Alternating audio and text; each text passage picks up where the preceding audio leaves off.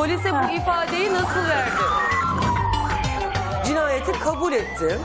Şu an her ikisi de cezaevinde. Bu program olmasa biz bugünkü sonuca ulaşamazdık. Eşim, eşim. Hadi en büyük hayalimi gerçekleştirdiniz. Telefon hattında kızın var. El ele verirsek üstesinden gelemeyeceğimiz hiçbir güçlük yok. 18 Ocak'tan bu yana kendisinden haber alınamıyor. Sözde Celal Türk'ü öldürtmekle alakalı evden o şekil ayrılıyor ve sabah 5'te çizmelerle ayrılıyor. Eşine de senet imzalatıyor. Tabii tabii. Kiralık katillerin parasını verecek. Evet. Fazla biraz film senaryosu gibi ama Kardeşleri eşinden, eşi ise damadından şüpheleniyor. damadı vurdurtacağım. Damat vurulmamış. Kiralık katiller zaten çıkıp ortaya benim diyecek halleri yok. Senin kocan gitti mi bir gün gelmedi hadi iki gün. Üçüncü gün sen oraya damlamalıydın. Yarın bir gün Gazi çıkıp gelse niye sen beni gittiğinde polise söyledin sen bilmiyor musun benim niçin gittiğimi demeyecek mi Gazi? Çünkü araba Adam da size hem dövmüş hem ihanet etmiş. Senin var mı anlatmadığın başka bir şey? çıksın bir ses söylesin tamamıyla nereye gidecekse gitsin o zaman. Siz Evet, çelişkili konuşuyorsun. aynen. Hay kurtuldum demedi de kimse seni kınamaz. Sen eğer öldürmediysen. Ben nasıl öldürebilirim Müge Hanım ya? O zorbalığın ne anlama geldiğini biz hepimiz anlıyoruz. Zorbalıktan kurtulmak için insanlar başka çareler arayabilir. Ama o çareleri ararken de ister istemez suç işler. Ben size yayın sonrasında anlatmak istiyorum. Az sonra Müge Anlı'da. Döve döve beni orada bastıra bastıra bastıra. Hiçbir şey yapamadım ben.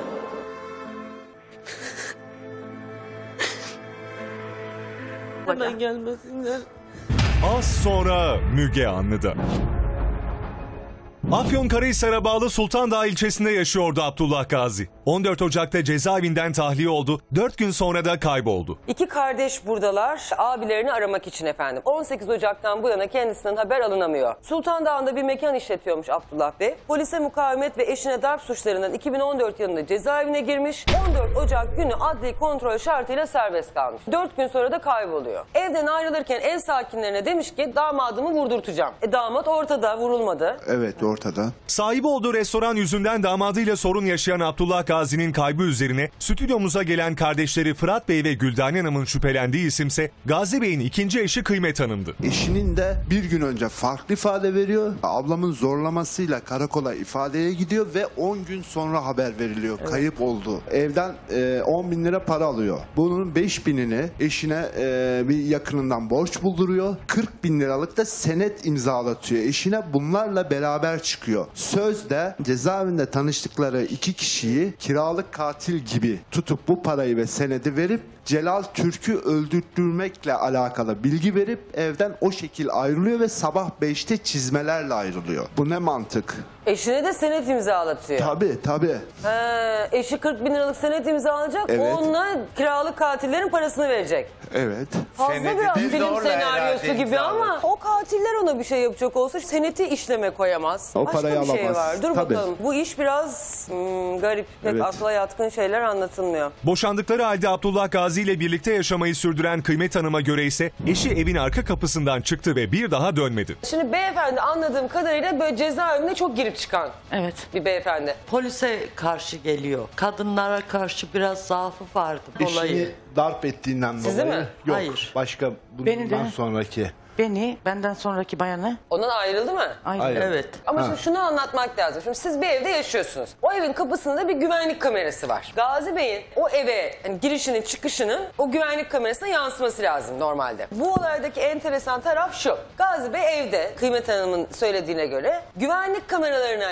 ön kapıdan çıktığı yakalanmasın diye arka kapıdan işte duvarları atlayarak falan evden çıkıyor. Şimdi biz bunu kimden biliyoruz? Kıymet Hanım'dan biliyoruz. Buna başka şahidiniz var mı bu anlattıklarınıza? Hayır. Bir kere bu adam ortada yok. Yani kuvvetle muhtemel ki hayatta da yok. Onlar da onun farkındalar. E peki diyorlar bu anlatılanlar da garip. E bunları da bir tek kıymet biliyor bizim gelin. Şimdi ben onların sonra size söyleyeceğini en baştan söyleyeyim. Biz nereden bilelim ki kıymet evin içinde öldürmedi de geldi birisi aldı da götürmedi. Şimdi bu anlatılan damadı vurdurtacağım. Damat vurulmamış. Kiralık katiller zaten çıkıp ortaya benim diyecek halleri yok. İmzaladığınız senet işleme koyuldu mu? O da yok. Bakın bir onu izleyelim. Tek katlı bu evde yaşayan Akbıyık'ın iddialara göre en büyük fobisi güvenlik kameralarıydı. Ancak bir süredir arızalı olan o kameralar kayıt yapmadığı için kendisine ait hiçbir görüntüye ulaşılamadı. Gazi Bey bu kapıdan mı çıktı? Bu kapıdan çıktı. 6-6.30 civarı sabaha karşı işte o civarlardaydı. Ön kapıyı değil bu kapıyı tercih etti. Evet. Çünkü bu kapıda güvenlik kameraları yok. Yok. Bu kapıdan çıktı ve ilerlemeye başladı.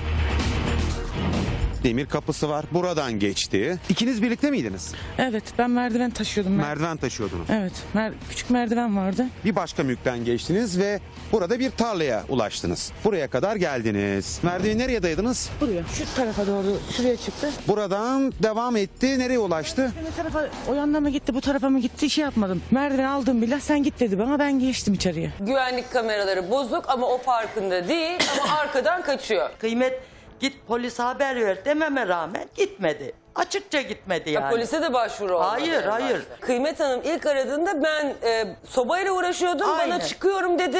Ben nasıl çıktığını görmedim. Sonra bir baktım ki araba kapının önünde. O zaman yürü, yürüyüşe çıkmıştır Ha. diye düşündüm dedi. Düşündüm dedi ki- Dediniz mi Kıymet Hanım böyle? Ben öyle söyledim fakat Söylediniz. Evet. Tamam.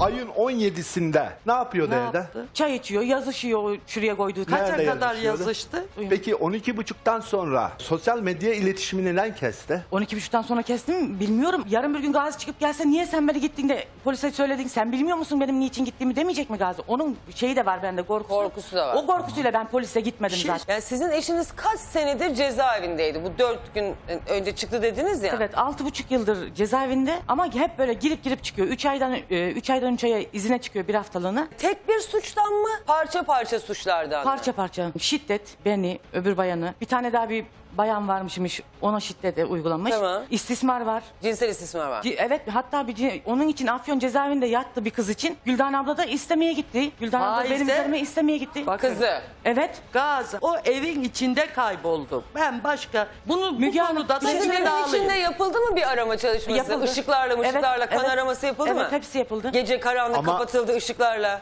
O gündüz geldiklerinde ışıklar. Gündüz geldi değil Gece- yani böyle gece. he? Bu evin ben- içinden başka bir yere gitmedi. Bu kadar kötü bir adam. Bizim arkadaşlara anlatmışsınız. Çok dayak yerim, yerimden kıpırdayamam, onu yaparım, bunu yaparım. Size para vermiyor. Adamın beş kuruş parası yok. Çünkü Ve arabası adam da size hem dövmüş hem ihanet etmiş hem o hem bu hem de cezaevinde. E niye duruyorsunuz siz orada? Yani Çıkamam ki nasıl çıkayım? Bir Nasıl gittim. çıkamazsın? Bir gittim buldu beni Of. diye. O yüzden onun onun o baskısından, korkusundan başka bir şeyden değil. Siz bana şöyle bir cevap vermiyorsunuz. Müge Hanım yani öyleydi böyleydi ama kocamdı ya seviyordum Kocam- ayrılamadım. Bak mesela Hocam- sizin şu andaki ifadenizde de kocası kayıp bir kadın görüntüsü de yok sizde. Siz Çünkü onu geri zaten gelecek şey var. silmişsiniz. Bunu da yadırgamam. Bütün Hayır. bunları yapan bir adamla aynı evde yaşanmayı yadırgarım. Siz bu damadı ya da işte onun kızını e sonuçta kızının da babası ya bu adam. Aradınız mı ya da arattırdınız mı? Aramadım. Niye derseniz çünkü inanmazlar. Evimiz kurşunlandı. Biz kurşunlananı görmedik. Gazi dedi ki Celal yaptı değil. Biz gittik Celal yaptı dedik. Görmediğimiz halde. Motoru elimizde verdik. Celal çaldı de dedi. Ama yıllarca Gittik Celal da- de- Ha, Gazi Ben- bize bana söylüyor yalan- böyle böyle söyleyeceksiniz diye. Biz öyle söylüyoruz. bana yalan söylemek O zaman ama zorunda siz değildik. demek ki polise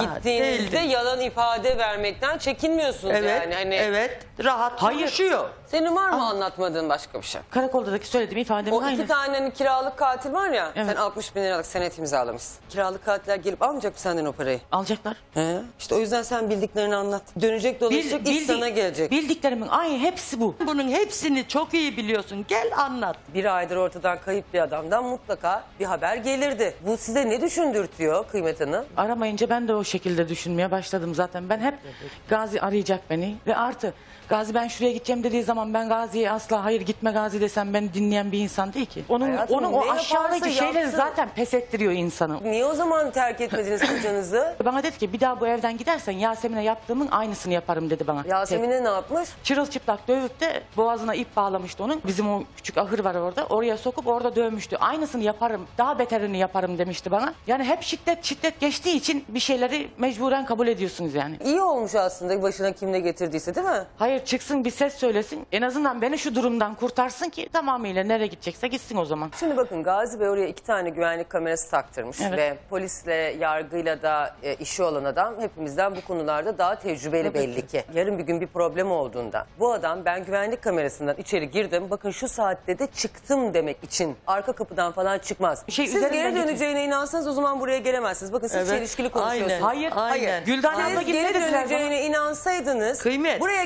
gelmeyi bırakın. Gidip emniyete böyle bir ifade vermezdiniz. Kurtuldum demede de kimse seni kınamaz sen eğer öldürmediysen. Ben nasıl öldürebilirim Müge Hanım ya? Oho onun çok çeşitli yöntemleri var. Ve senin anlat çocuğun güzellikle. da haberi var. Bak o gaziye ne olduğundan. Bak bunlar var kıymetim. Gerek yok kendini yorma. Bak şurada güzelce anlat. Neyse herkes Çözelim şu üzerine olayı. düşeni yaşasın. Sen beş Öldürüldü mü, günde öldürdün mü ne olduysa Ha, anlatalım. anlat. Yani senin anlatacağın şey senin müdafaa hakkını kullandığınla da Tabii ki. ilgili olabilir. Yani anlat. gerçekten o yüzden öyle. sen de gel gerçeği anlat. Nasıl Anlat. olsa ortaya çıkıyor. Uzak İki tane de yani. çocuğun var. Sıyır yakanı diyor sana. Bak iki akrabalara. tane de çocuğun Yani var. O de böyle- baskıyı ben size anlatamıyorum Müge Ben Hanım. anlıyorum. O zorbalığın ne anlama geldiğini biz hepimiz anlıyoruz. Zorbalıktan kurtulmak için insanlar başka çareler arayabilir. Ama o çareleri ararken de ister istemez suç işler. O suçu da doğru bir şekilde anlatırsa insan işte az ceza alır, ailesinin bakış açısı değişir, o değişir, bu değişir. Siz de kadınsınız. Onun da yaptıklarının doğru Bakın, olmadığını biliyorsunuz. Tabii ki biliyorum. Sizin de ben biliyorsunuz. bunun yanındaydım. Bakın iki yıla Anlatabiliyor kadar muyum? bunun Seni biz yanındaydım. anlıyoruz. Kötü Yani bir bana adam- yaşattıkları kötü. Diğerlerine de aynı şekilde. Bu bir kötü yani. Resmi nikahınızı bile yok artık ondan da boşanmışsın. Almış senden onu. Evet. Ve yayınımız devam ederken Abdullah Gazi'nin eşi Kıymet Hanım bir kez daha stüdyomuza dönerek önemli bir açıklamada bulunacağını söyledi. Kızınla da konuştum. Evet. Aslında o gece burada anlattığın gibi olmadı her şey. Hayır ben size yayın sonrasında anlatmak istiyorum. Peki. Önemli olan hayata değer katmak. Sevinçlerimiz, hüzünlerimiz, yaşamın gerçeği.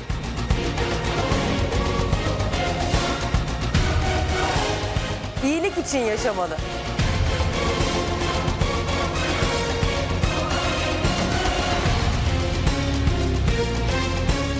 Unutmayın, hayat varsa umut da vardır.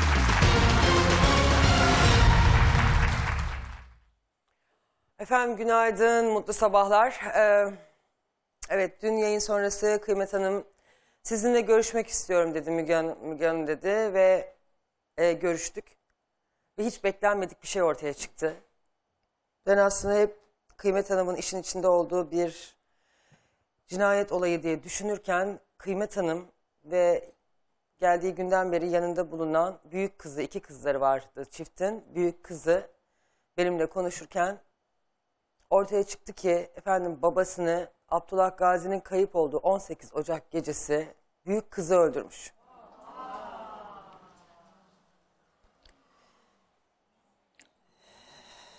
Gerçekten herhalde hani hep bana sorarlardı hayatının en zor programı seni en çok etkileyen konu neydi falan diye. Artık onun cevabı var. Güzeller güzeli bir kız çocuğu üniversite sınavına hazırlanıyor lise 3. sınıf öğrencisi. Gerçekten çok masum ve çok güzel. 18 Ocak gecesi aslında bir yere kadar anlatılanlar doğru. Eve alkollü şekilde geliyor baba. Annesine o senedi imzalatmak istiyor. O sırada evde bulunan eee, bir silah var. Ve genç kızın anlattığına göre annesinin öldürüleceğini düşünen genç kız o silahla babasını öldürüyor istemeden de olsa. Sonra aile anlaşıyorlar kendi aralarında. Ee, tabii cesetten kurtulmaları lazım. Evin yakında bir ocak var. Ee, onu oraya atıyorlar. Ve cesetten de bu şekilde kurtuluyorlar. Ee, evde bir de 15 yaşında bir kız çocuğu daha var. Ona da diyorlar ki eğer ortaya çıkarsa annem üstlenecek. Hani eğer her şey ortaya çıkarsa sen de bu şekilde ifade ver. Dün Kıymet Hanım yayın sonrası konuşacağım dediğinde 14 yaşındaki çocuk da ifadesi alınmak üzere emniyete götürülüyor. Çocuk anlaştıkları gibi annesinin öldürdüğünü itiraf ediyor. O yüzden bugün ve dün de medyada bir takım haberler vardı. Anne işte karısı öldürdü kocasını yaktı tandırda falan diye. Ama aslında olayın iç yüzünde kızını korumaya çalışan bir anne var. Ee, kız çok aklı başındaydı aslında. Ee, her şeyin bir şekilde ifadelerle ortaya çıkacağını düşündüğü için daha fazla yalan söylemenin gerekli olmadığını inanıyordu. Ee, sonra bir röportaj yaptık yayın sonunda. Durumu anlatmak için. Şimdi sizlere onu izleteceğim. Ee, çok acı ya. Çok acı. Yani size sadece o kadar söyleyebilirim. Hiç uyku uyumadım dünden beri. Ve hep şunu düşündüm. Hangimizin başına gelseydi farklı davranırdık ki? Ee, kim annesi için kendisini feda etmez ki? Neyse aslında fazla söze gerek yok. İzleyin ne demek istediğimi anlayacaksınız.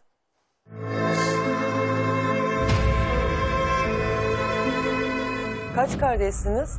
İki. Küçük mü kardeşin senden? Evet 15 yaşında. Kaça gidiyor? 10. 10. sınıfa gidiyor. 10. sınıfa gidiyor. Baban sen kaç yaşındayken beri cezaevine girip çıkıyor? Vallahi küçükten beri yani çok küçüktüm o zamanları hatırlıyorum ondan beri girip çıkıyor. Nasıl bir adamdı baba? Sürekli annemi dövüyordu. İşte evimize sevgililerini getiriyordu. Hep şiddet. Hep çocukları yaşında insanlarla birlikte oluyordu. Onları eve getiriyordu. Annemi kadından saymıyordu. Bizi çocuğu olarak görmüyordu. Bir kere hiç gelip de yanımıza çocuğum iyi misin? Bir derdin var mı, sıkıntın var mı diye hiç sormadı o zamana kadar. Peki babam bu kadınları eve getirdiğinde siz ne yapıyordunuz? Sizin bir tepkiniz var mıydı? Biz istemiyorduk getirmesini ama bizi hiç kaleye almıyor, dinlemiyordu.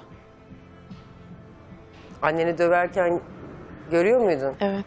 Hep saçından başından testereyle dövüyordu. Evin arkasında çalıştığı yer vardı. Orada bir şey olduğunda testereyle dövüyordu. Eline ne geçerse vuruyordu onunla. Hiç acımıyordu. Yapma diyorduk. Bizi de dövüyordu. Sen de şiddete uğradın mı? Hı hı. Şikayetçi de oldun galiba bununla Oldum ilgili. evet. Ne oldu o şikayetin sonucu? Hapse girmiş bir sığınma evine gittik. Annemle birlikte. Hapse girdi sonra çıktı işte. Bizim adli evimizi oradaki evimizi öğrendiği için gelmek zorunda kaldık buraya. Tehdit ediyordu. Sen hatta çocuk yuvasına gitmeyi tercih Evet. etmişsin bir dönem. Geldi bizi eve götürecekti. Biz yurtta kalmayı tercih ederiz dedik. Onun yanında kalmak istemedik. Ne oldu sonra? Aldılar annemin yanına götürdüler. Bir daha ulaşamadı. Sonra yine buldu adresimizi. Korkuyor muydun babandan? Evet. Sürekli şiddet gördüğümüz için yani hiç yüzüne bile bakamazdık doğru düzgün. Annem bırakmıyordu. Ben çok dedim anneme git hayatını kurtar evlen diye. Bırakmıyordu. Annem de hep sizin için diyordu. Gitmem ben diyordu. İşte biz belini büken annemin bizdik zaten. O da bırakmıyordu. Annem buldu işte. Enayi olarak görüyordu. Her işimi yapıyor. Getirdiğim kadınlara, kumalara hiç laf edemiyor. Sen annene kızıyor muydun? Bazen kızıyordum, bazen de hak veriyordum. Böyle bir adamla. Yani yaşanmaz da bizim için hepsi.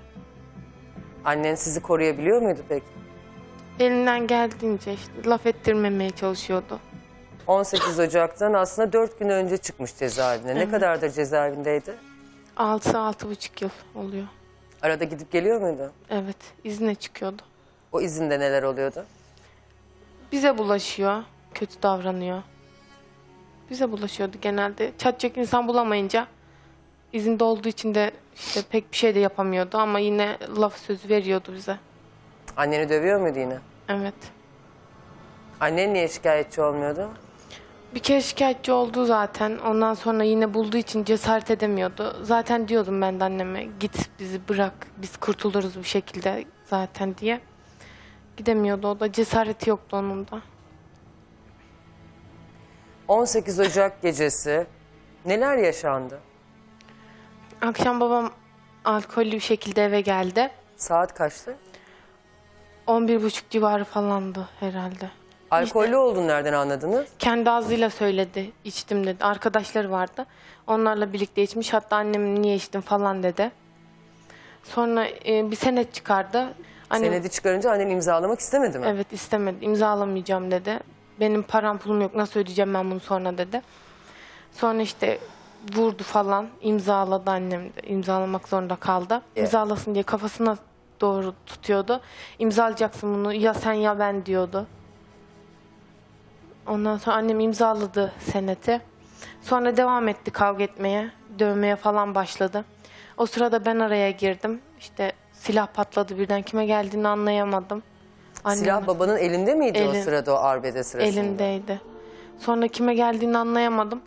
Baktım babam birden yığıldı. Ondan sonra o vurulmuş. Sonra öldü.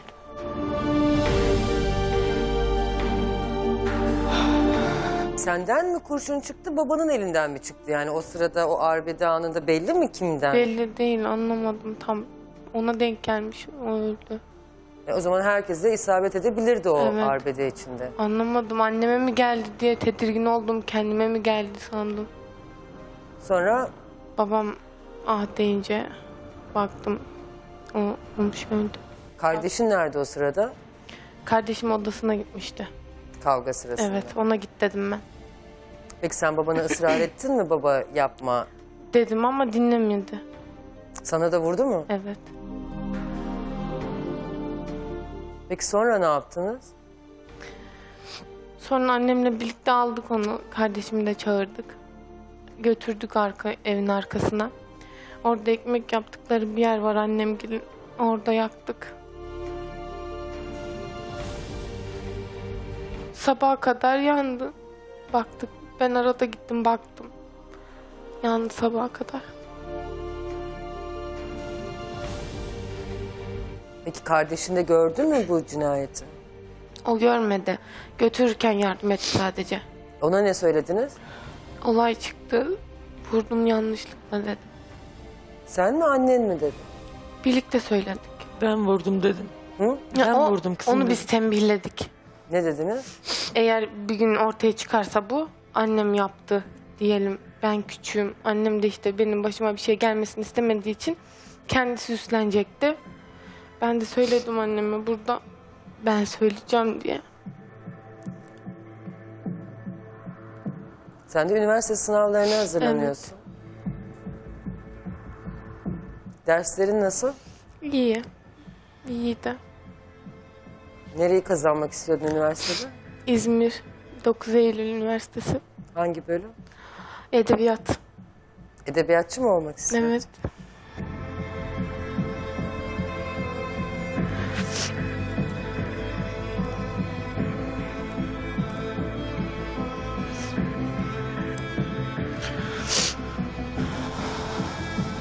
Eminim ki böyle bir şeyin olmasını arzu etmezdin.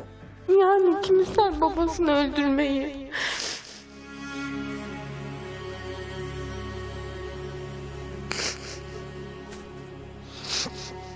Anneni mi korumaya çalışıyordun aslında? Evet. Zaten annem yani benim için dünyalara bedel. Bize annelik yaptı, babalık yaptı bu zamana kadar. Anneme bir şey olmasını istemedim ben.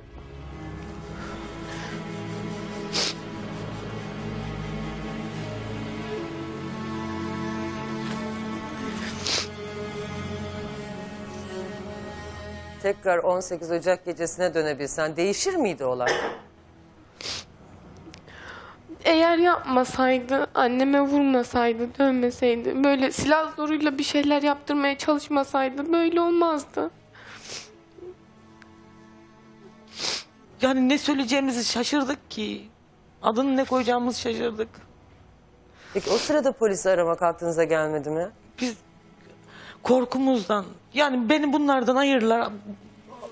Çocuklarımdan her şeyim. Polise demek hiç. O yüzden işte götürüp yaktık zaten. Demeyelim bizden bilinmesin. Saklayabileceğinizi düşündünüz. Ama saklayamıyoruz ki. Biz yalan söylerken belli ediyoruz. Müge Hanım biz yalan söyleyemiyoruz yani. Belli ediyoruz. Belli oluyor bizim yalan söylediğimiz. Bu zamana kadar da hep sizi suça teşvik etmişti. Anladığım kadarıyla tamamen suçun içine sürükledi. Evet. Pişman mısın? Annem kurtuldu şu an. Bunun için mutluyum. Ama işte kendisi gitti. Kendini yaktı, beni de yaktı.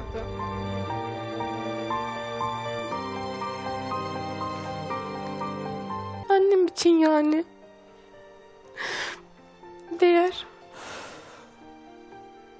Annen için de yani.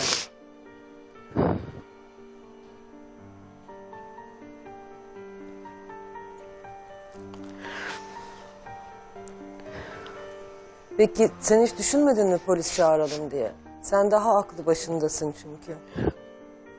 Yani düşünmedim. Zaten olan olmuş. Alıp götürürler annemi diye korktum. Bizi ayırırlar. O yüzden saklamak istedik biz. Zaten annem kendisi üzerine alacaktı. Bunu bana çok söyledi. Senin üniversite sınavın var, hayatını karartma. Ben zaten yaşadım yaşayacağımı dedi. Ben kabul etmedim. Peki bu bir ayı nasıl geçirdin be yavrum sen bu yükle? Bilmiyorum ya evde sürekli gözümün önüne geliyordu evde. Ama eğer anneme yapmasaydı böyle davranmasaydı küçüklüğümden beri dövüyor zaten sürekli.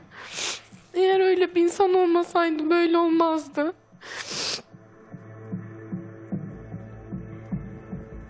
Yani sonuçta babam atsan atılmaz, satsan satılmaz. Ama sadece adı vardı. Yani baba hep böyleydi. Hiç sevgi göstermedi bize. Diğer ablalarıma falan, kardeşime sadece bize değil. Bilmiyorum ya. Herkes derdi anneme. Sen mi bu evin erkeğisin, gazim belli değil diye. Her şeyin üstesinden annem gelirdi. Eğer annen o gece ölseydi siz tamamen ortada kalacaktınız. Kimse bakmaz ki bize o zaman.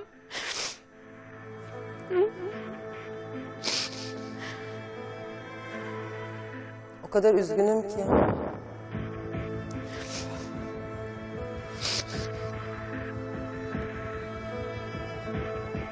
Hep annem yaptı bize. Hep bizim için uğraştı, çabaladı.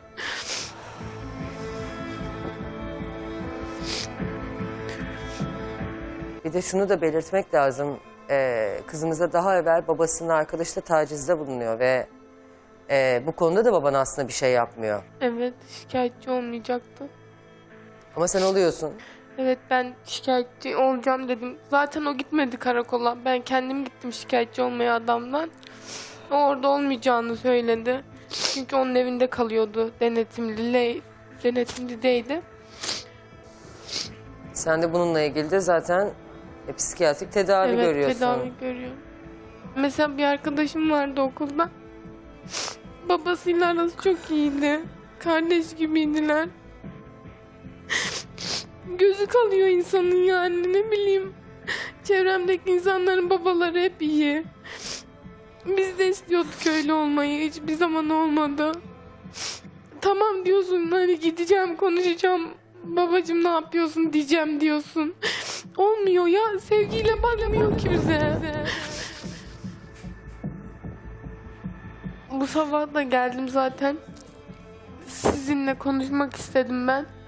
Söyleyecektim annem engel oldu sürekli hayatını karartma diye. Hiçbir çocuk babasını öldürmek istemez ama annesinin ölümüne de göz yummaz, sessiz kalmaz.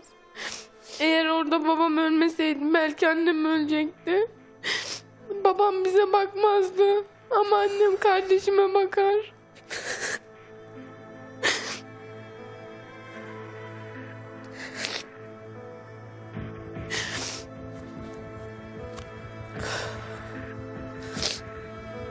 Üzgünüm. Keşke başka bir yolu olsaydı çok üzgünüm.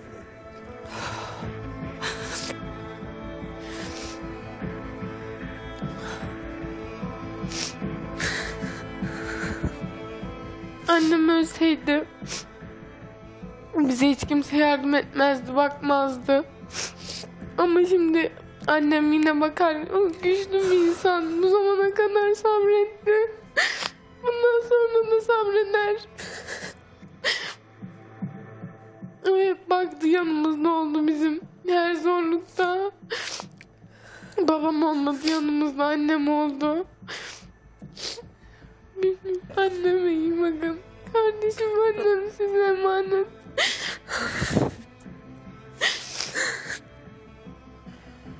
Merak etme sen şimdi kendini düşün. Sen iyi olursan annen de iyi olur. Tamam mı? Sana gerçekten hiç kıyamıyorum.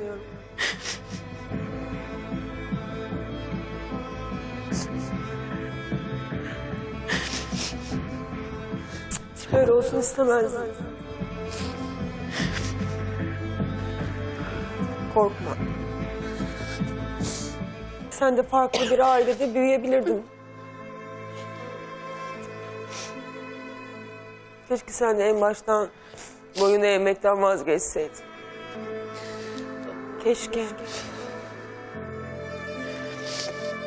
Bunların tek sebebi korkuydu Gazi'den. Hep korku. O yüzden bas, döve döve beni orada bastıra bastıra bastıra. Hiçbir şey yapamadım ben. O günkü şeyimizde kızımın görmesini asla istemezdim. Asla. Sen de bunu istemezdin. O silah patladığında üçünüzden birisi ölebilirdi. Ona denk gelmiş. Ekip arkadaşlarımız Afyon Karahisar Sultan Dağı İlçe Emniyet Müdürü ile bağlantıya geçtiler. Onlar da İstanbul Emniyet Müdürlüğü ile görüşmüşler. Emniyet yetkilileri birazdan burada olacaklar. Hemen gelmesinler. Ya niye söyledin?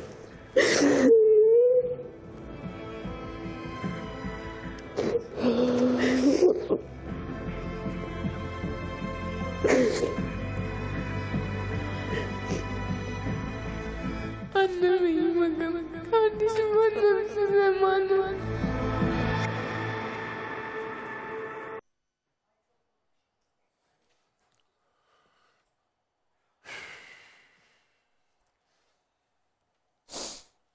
Çok üzgünüm.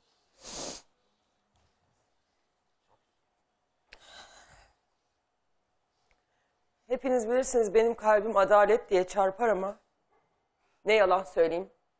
Bilseydim işlemezdim. Saklamak için de elimden gelen her şeyi yapardım. Ortaya çıkınca ben de cezalıyım. Ne yapayım yani? Yani bu çok açık söylüyorum yani. Çünkü Annesi de öyle yaptı. Annesi öyle yaptı evet. İstemezdim. Hiç böyle bir şey beklemiyordum. Annesi de öyle Sanırım yaptı. herkes işte şey- evde böyle karı koca kavgaların olması çocukları nasıl etkiliyor yani. Bir daha insanlar çocuklarının yanında kavga ederken de bence 3-5 kere daha düşünmeli. Valla e, bir şey beni çok etkiledi konuşmalar arasında. Annem için değer dedi. Annem için değer. Annem ölseydi bize bakacak kimse olmazdı diyor. Ama O bakmanın ötesinde garip bir sevgi var. Yani Anne. gerçek sevgi var. annesi ya, Şeyde. anne. Gerçek sevgi var. Annem için değer demesi her şeyin özeti bence. Artık annem eskisi gibi çekmeyecek. Bu açıdan daha mutluyum dedi. Yani düşünün ki yeni yetişme çağındaki bir genç kız babasına karşı cinayet işlemek veya işletilmek durumunda kalıyor. Ve bunda annem için değerdi diyerek kendini teselli ediyor. Hangi şartlarda bunu konuşuyor? İşte dinledik. Biraz yarım saatten beri bu kızımız anlatıyor. Biraz önce siz de aynı şeyi söylediniz. Bu konuşmaları dinleyen bir genç kız, bu kızımızın yerine bir başkası da olsaydı, siz de olsaydınız, ben de olsaydım, bir kız olarak düşünmeyin, bir evlat olarak düşünün.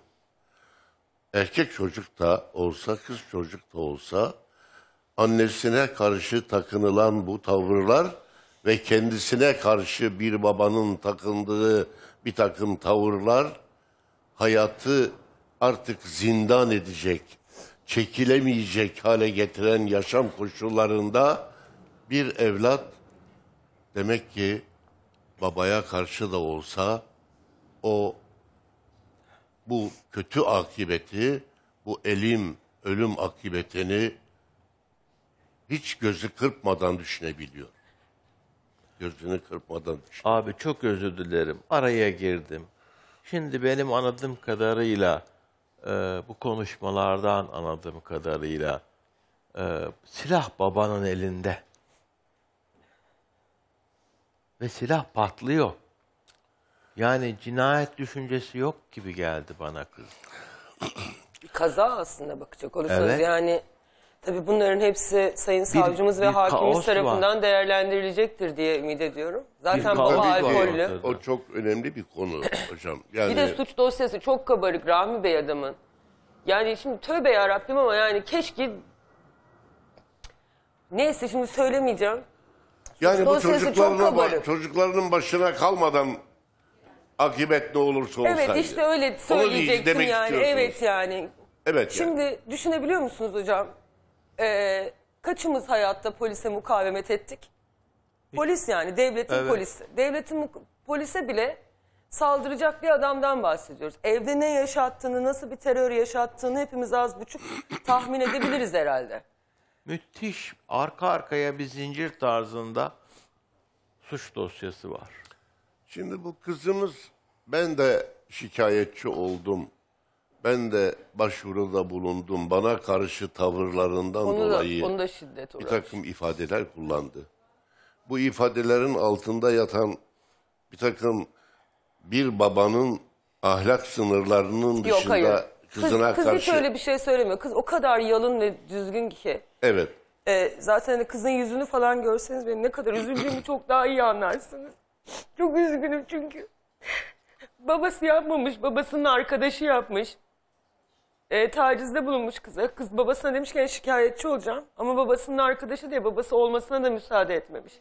Kız kendi başına gitmiş şikayetçi olmuş yani daha baba önce. buna göz yummuş. Baba buna göz yummuş. E, ha yapmış ha göz yummuş bir Yani, baba için. yani. Yapılacak iş mi bu Çünkü ya? denetimli serbestlikte onun yanında kalıyormuş kızın anlattığına göre. Ona da göz yummuş.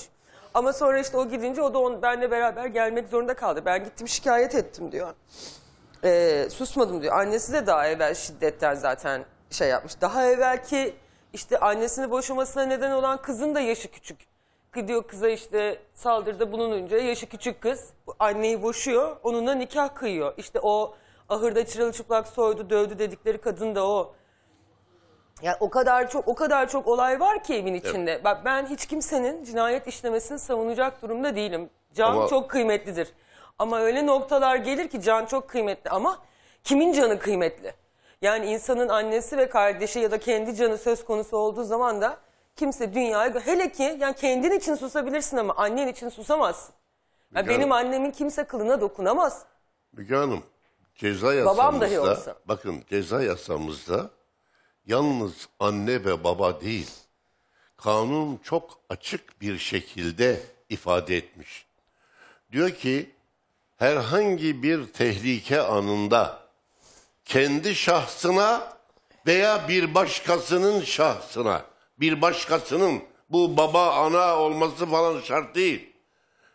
Herhangi bir şekilde kendi şahsına veya bir başkasının şahsına karşı devam etmekte olan ve engel olunamayacak durumda olan bir tecavüzü durdurmak ve def etmek için işlenen suçtan dolayı ceza verilmez. Bundan Bunun daha ismi da bir şey meşru olmaz mürafa. yani. İnşallah. Bunun Buradan daha ismi- başka bir şey olmaz abi. Bakın ben Yani anasına yasayı yönelik bir getirdim şey var. tam kelimesiyle okumak için. Lütfen. Bakın aynen okuyorum. Türk Ceza Yasası'nın 25. maddesi. Gerek kendisine ve gerek başkasına ait bir hakka yönelmiş. Gerçekleşen, gerçekleşmesi veya tekrarı muhakkak olan haksız bir saldırıyı dikkatinize sunarım. haksız bir saldırıyı o anda hal ve koşullara göre saldırı ile orantılı biçimde def etmek zorunluluğu ile işlenen fiillerden dolayı faile ceza verilmez. Kanun yapıcı yapmış bunu yazmış.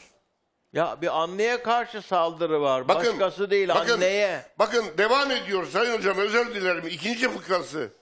Gerek kendisine gerek başkasına ait bir hakka yönelik olup bilerek neden olmadığı ve başka suretle korunmak olanağı bulunmayan başka suretle korunmak olanağı bulunmayan ağır ve muhakkak bir tehlikeden kurtulmak veya başkasını kurtarmak. Bakın kurtulmak veya başkasını bu ana baba kardeş falan şart değil. Şu anda biz bu ortamda duruyoruz. Şurada kalkıp da şu arkadaşımıza karşı herhangi bir saldırı devam ettiğini görüyoruz. Bakıyoruz ki bu arkadaş bu saldırının karşısında hayatını kaybedecek. Onun imkanları yoksa ben de burada görüyorsam bir insan olarak müdahale edip o saldırıyı def ettiğim zaman saldırıda bulunanın canını yaksam veya hayatına son verecek bir durum takılsam kanun bana ceza vermiyor. Hiç tanımadığım biri olsa dahi. Kaldı ki burada bir anne söz konusu. Bir anne söz konusu bir. İkincisi o yaşa gelinceye kadar bu genç kızın sağda solda gördüğü kız arkadaşlarının babasıyla olan sevgisini, samimiyetini, babalık duygusunu Bu kız yaşamamış ki. yani başkası babasıyla baba evlat sevgisini yaşarken bu kızcağız hangi şartlarda ne şekilde bir yaşam koşulları içinde kalıyor? Hangi psikolojiyle büyüyor? Patlayan bir psikolojinin sonucunda meydana gelen bir olay. Patlayan bir psikolojinin sonucunda meydana gelen bir olay. Allah yardımcısı olsun. Allah yardımcısı olsun. Diyecek laf bulamıyorum yani artık sözün bittiği yer diyoruz ya. Cezasını bütün mesele kızımızın hak etmediği ağır bir cezayla karşılaşmaması. Yani ne diyeceğimi bilemiyorum. Bu hangi e, nerede işlenmiş cinayet olay? Afyon'da. Ha, İstanbul'da olsaydı Müge Hanım ben bugün 12 senedir sizinle beraberiz 11 yıldır. Hiçbir davada kalkıp da ben bu davanın avukatlığını yapmaya hazırım demedim. Ama bir lira almadan, ücret almadan eğer İstanbul'da olsaydı bu kızınızın savunmasını seve seve yapmayı kabul ederdim.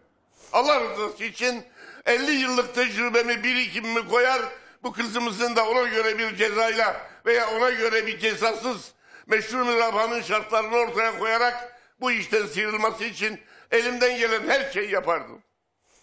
Dün ulaşamadım ama e, Afyon Baro Başkanı'nı e, aradım ama ulaşamadık.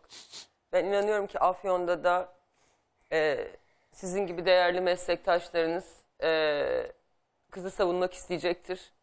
Ve ben buna inanıyorum. Onlardan da böyle bir talep geleceğini düşünüyorum.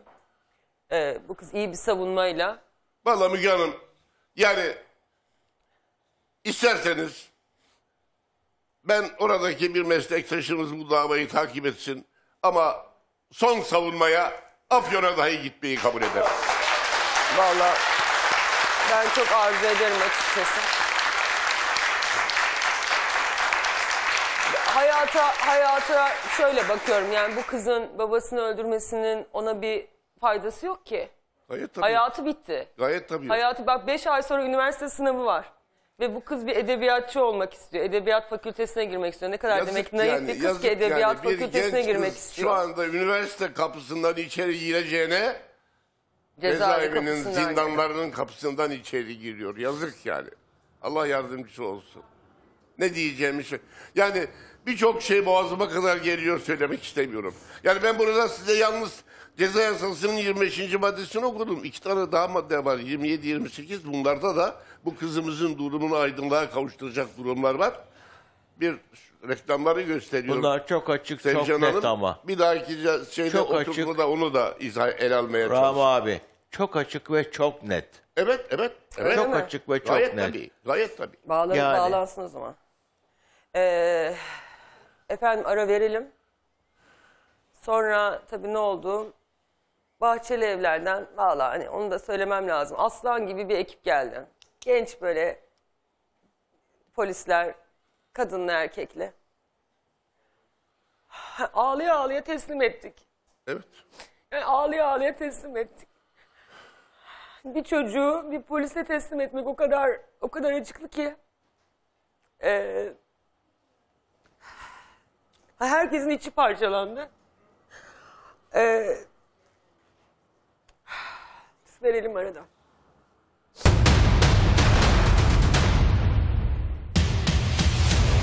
Adam kimden korkuyor? Evet deme. Kim yaptı? Hala mı susacaksın? Çürütmeye ne hakkınız var? Yani sekiz kişilik var. Aa kemik çıktı. Bu her şeyi biliyor.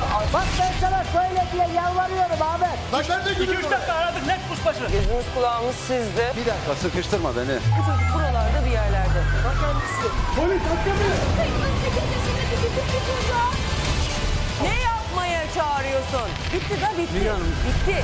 Game over yani.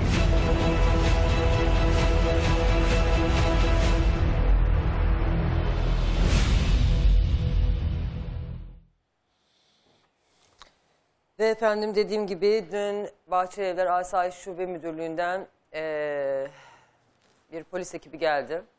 Anne ve kızın bu itirafından sonra anne kızı güçlükle bizden de ayırarak itiraf edeyim. Eee Bahçelievler'e götürdüler Kıymet Hanım ve kızını. İşte o görüntüler. Abdullah Gazi'nin ölümüyle ilgili Kıymet Hanım ve kızının Müge Anlı'ya anlattıkları gerçeklerin ardından Bahçeli Evler Asayi Şube Müdürlüğü ekipleri stüdyomuza geldi.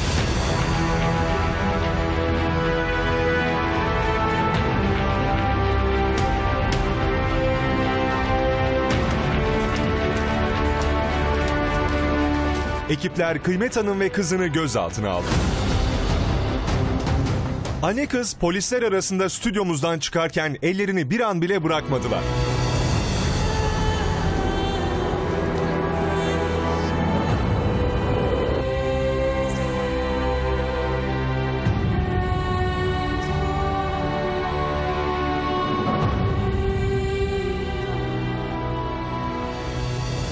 Müge Anlı'ya yapmış oldukları itirafların ardından anne kız Bahçelievler İlçe Emniyet Müdürlüğü ekipleri tarafından gözaltına alındı ve şimdi emniyete doğru götürülüyorlar. Kıymet Hanım ve kızı Bahçeli Evler Asayi Şube Müdürlüğü'ne götürüldü. Aldığımız bilgilere göre bir polis ekibi anne kızı Afyonkarahisar'a götürmek için İstanbul'a doğru yola çıktı. İfadeleri ise cinayetin işlendiği kentte alınacak. Soruşturmayı yürüten Afyon Asayi Şube Müdürlüğü ekipleri anne kızı sorgularının ardından savcılığa sevk edecek. Anne kız direkt Afyon İl Emniyet Müdürlüğü'ne götürüldü. Az önce de e, savcının huzuruna çıkmak için e, çıkarıldılar. O görüntüleri yayınlamayacağım. Bu arada Sultan Dağ İlçe Emniyet Müdürlüğü ile Sultan Dağ İlçe Jandarma Komutanlığı'nda Abdullah Gazi'nin evinde bir arama çalışması gerçekleştirdiler. Halılar, battaniyeler, luminol inceleme hepsi yapıldı. İşte o yandaki ocakta incelemeler yapıldı. Bayağı da bir malzeme aldılar inceleme yapılması üzerine. İnceleme yapmak üzere. O görüntüleri de izleyeceğiz. Ee, bu arada e, Abdullah Gazi'nin biliyorsunuz kız kardeşi ve erkek kardeşi stüdyomuzdaydı. Az önce e, ya bizim bu konuya bu kadar üzülmemize e, kızdıkları için e, gitmek istediler. Bence iyi de yaptılar. Çünkü ben sabah başsağlığı diledim halaya ve ortada yeğeninin hayatının da olduğunu söyledim. Gerçi onun ben affediyorum demesiyle e, bir şey değişmez yani sonuçta kararı yargı verecek. Ama anladım ki kız eğer anneme bir şey olursa bana ki- bize kimse bakmazdı demekte çok haklı. Kız çok haklıymış. Eğer anneme bir şey olsaydı baba zaten sürekli cezaevine girip çıkıyor. Bize kimse bakmazdı biz yalnız kalırdık demekte çok haklı. Oysa hala demek anne yarısı demek. Hala demek o evladın da bir şekilde annesiyim demek. Bir de o kadar güzel ki sorumluluğu sana ait olmayan bir çocuğu evlat gibi seviyorsun ya. Halasın ya hala yani. Amcasın ya baba yarısısın, anne yarısısın, halasın yani. İnsan ya belki de bu kadar herkesin etkilenmesi nedeni bu hepimizin evinde yaşanabilirdi. Bugün arkadaşlarımdan biri geldi dedi ki ben kocamla artık evde yüksek sesle tartışmayacağım çocukların yanında dedi. Dün bütün sabaha kadar bunu düşündüm dedi. Bir daha tartışmayacağım kocamla dedi çocukların yanında. Demek ki bak nerelere kadar varabiliyormuş olay dedi. Yani hala da kıymet yapmıştır, çocuk istenmiştir, çocuk yapmıştır, kıymet... üst- Yani bunun bir anlamı yok ki yani. Evde iki tane kız çocuğu ve bir tane kadın var. E sen zaten biliyorsun adamın şeyini. Hani adam da sütten çıkmış ak kaşık bir adam değil ki. Ya Kebriye ben bir daha istemiyorum böyle insanlarla ilgili kayıp konularını burada işlemek. Ben de Kebriye de diyecek ki ne ne istiyorsun ne istiyorsun diyecek hani yani yakında konu ben istemiyorum ya. Ya Müge Hanım, İstemiyorum ben buna dahil olmak istemezdim yani. Özür dilerim. Tabii istemez. Sonuçta başından sonuna bilinse. Ee, ama bu bir gerçek. Bu bir yaşanan bir şey. Bunu da bilebilmeniz mümkün değil yani bir e, inceleme sırasında. Bir vakayı incelerken sonucunu bilemediğiniz gibi böyle bir yere çıkılabiliyor demek ki. 12 senede ilk defa böyle bir şey yaşıyoruz. Böyle bir şey yaşadınız Maalesef, yani. Evet. Yani çok konu gördüm. Çok üzüldüğüm olay oldu. Ama bir genç kızın yani baba katili oldu ya. Şimdi bunu gazete küpüründe okusaydık işte babasını öldürdü deyip geçeceğiz. Yani iç yüzünü bilmiyoruz. Yani bu iç yüzü bence hepimizin ders alabileceği nitelikler taşıyor. Hepimiz ders çıkarmalıyız bundan. Emniyetteki sicil fotoğrafı çekilip fotoğrafın altına numara verilir, sabıka numarası ve altında da işlediği suçla ilgili baba katil. Genç bir kızın alnına yapıştırılan mühre bakın. Şimdi o adam normal davransaydı o kız babasını öldürecek Olur miydi? mu yani? Zaten- İşte o yüzden hani okuduğunuz o madde o kadar önemli Evet. ki ben inanıyorum ki Afyon'un da eee, işinin ehli, savcısı, hakimi eminim eee, onlar da bu yürekle bir insan olmanın verdiği yürekle davranacaklardır. Yani eee, biz evet adalet yerini bulsun, suçlular cezalandırılsın istiyoruz ama o yüzden işte bir sürü bir sürü madde var yani. Şundan dolayı şöyle, bundan dolayı böyle de. Yani bu çocuğun eğitim hayatı, yaşam hayatı bir bit, bit- bitmemeli. Bitmemeli yani. Valla ben e, ümit ediyorum ve temenni ediyorum. İnşallah cinayet masası dedektifleri kızımızın bizim ekrana yansıyan gibi ifadelerini motamot herhangi bir yanlış ifade ve mana verdirtmeden tam alsınlar ve Sayın Cumhuriyet Savcısı da bunu okuduğu zaman temenni ediyorum ki Türk Ceza Yasası'nın 25. maddesinin bütün şartlarının olayda mevcut olduğu görülerek tedbiren tutuklanmasına gerek kalmamıştır desin. İnşallah. Evet. Yani tutuksuz yargılanmaya devam edilirse en azından çocuk da üniversite sınavına hazırlanır. Tabii yani. ya, hayatı devam eder. Evet. Hayatı devam eder. Yani adli yaptırımlar var. İşte yurt dışına çıkma yasağı koysun. Hatta hatta desin ki her hafta Afyon'da oturdukları ikamete en yakın karakola imza atma mecburiyetini koysun. Belki bir miktar nakdi kefalet istesin. Misal olarak diyorum. Ha, kefalet ödeme imkanları var yok ayrı bir konu. Ona bile bir çare bulunur. Ben veririm kefalet. Ona bile bir çare bulunur derken onu kastediyorum.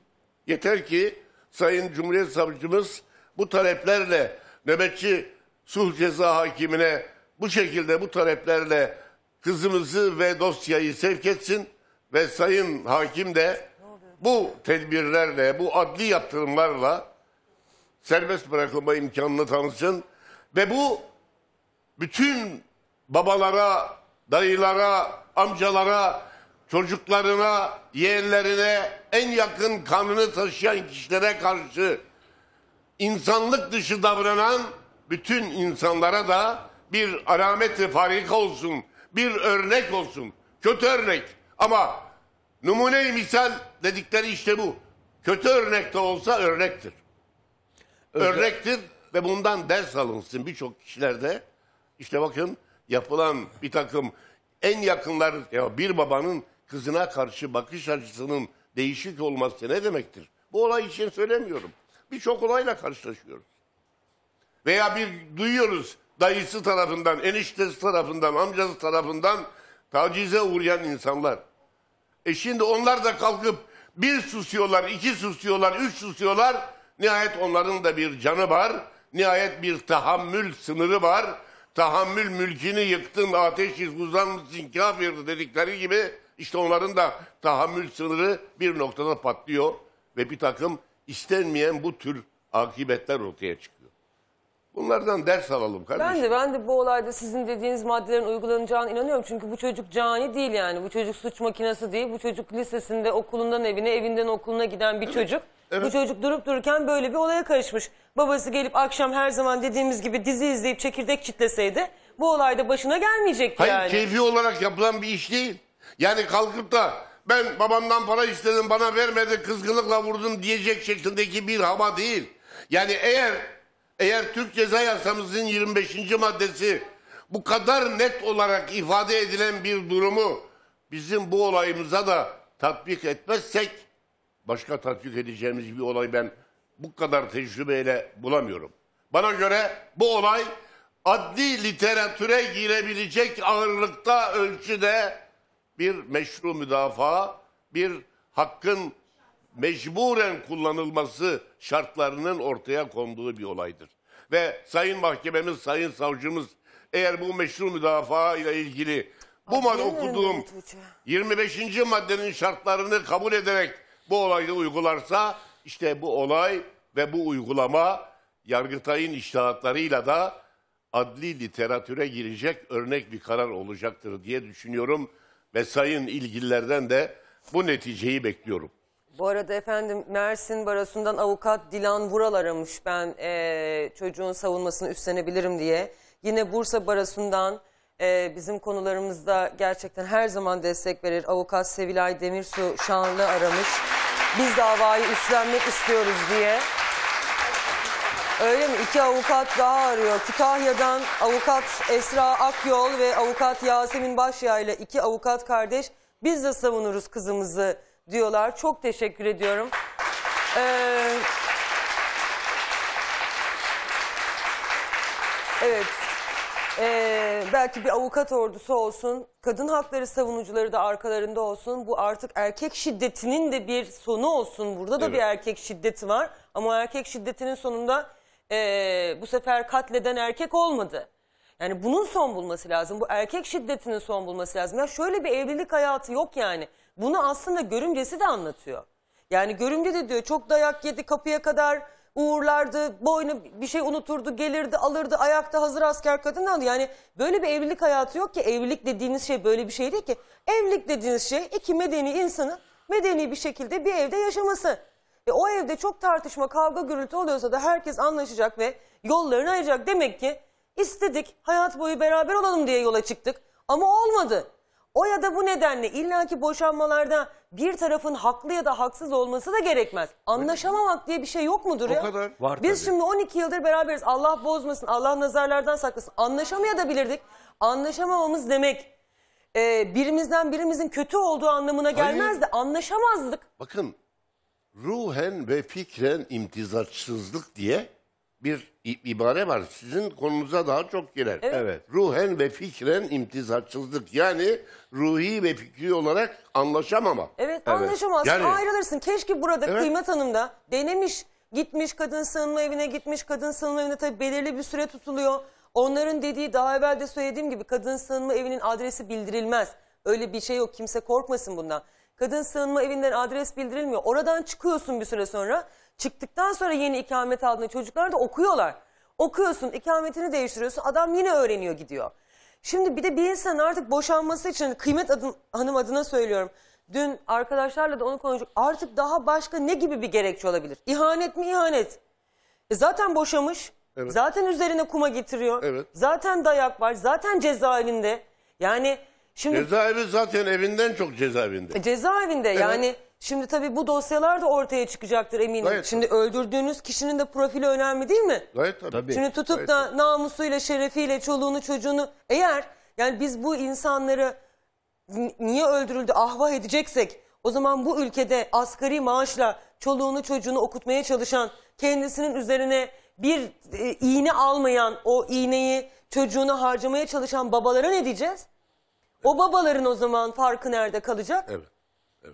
Yani bugün asgari ücretle dört çocuğunu okutmaya çalışan, ayağına ayakkabı almayan, ayakkabısı patladığında altına hala yama yaptıran, yani 20 liraya da ayakkabı Yağmurda, var çünkü. çamurda ıslak çorapla ayağının altındaki su çeken ayakkabısından gezen adamlar ıslak var. çorapla yürüyüp yürüyüp evine geldiği zaman o ıslak çorabı ayakkabısını çıkarıp sobanın önünde kurutan Babalar da ama var. ama cebindeki parayla yavrularına ayakkabısını alan, üstündeki kıyafetini alan, okul masraflarını karşılayan babalar ve analar var. İşte o ana ve babaların önünde hürmetle eğiliyorum. Saygılar sunuyorum. Bir de siz çok güzel bir şey söylediniz.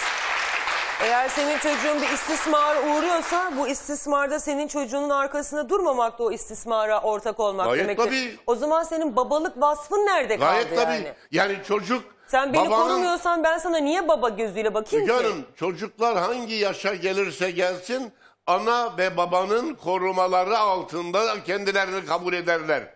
Bir ana babanın da çocukları için yaşları, durumları, maddi imkanları, mevkileri, makamları ne olursa olsun daima ben baba olarak, ana olarak onun üzerinde korumayım.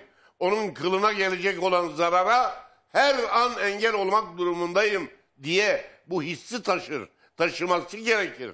E şimdi senin kızına kalkıp senin bir yakın arkadaşın İstismarda bulunacak. başka türlü saldırıda bulunacak, başka türlü yan gözle bakacak. Kızın da bundan şikayetçi olacak ve sen duyacaksın. Sen babalık görevini yapmayacaksın. Yani yok kızım bir şey yapmaz, bir şey olmaz diye savacaksın. Kızın o yaşta gidip polise kendisi şikayetçi olmak durumunda kalacak. E sen o zaman bostan korkuluğu musun be kardeşim? Bostan korkuluğu musun? Bu ne?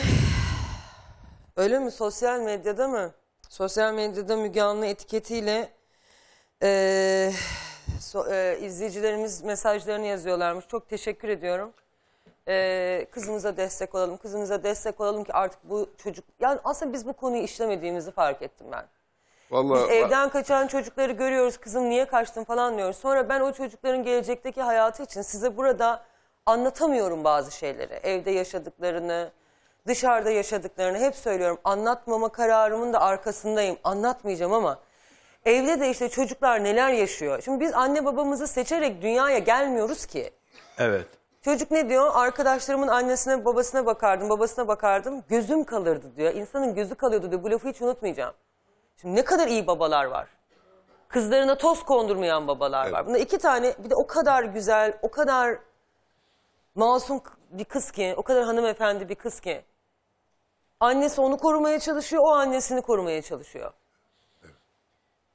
Yani Yani biraz önce Müge Hanım seyircilerimizin bütün telefonda durmadan anlattığını pardon söyledi bütün hep e, bana da mesaj gönderenler inşallah Rami Bey'in dediği gibi tarihi bir karar olur.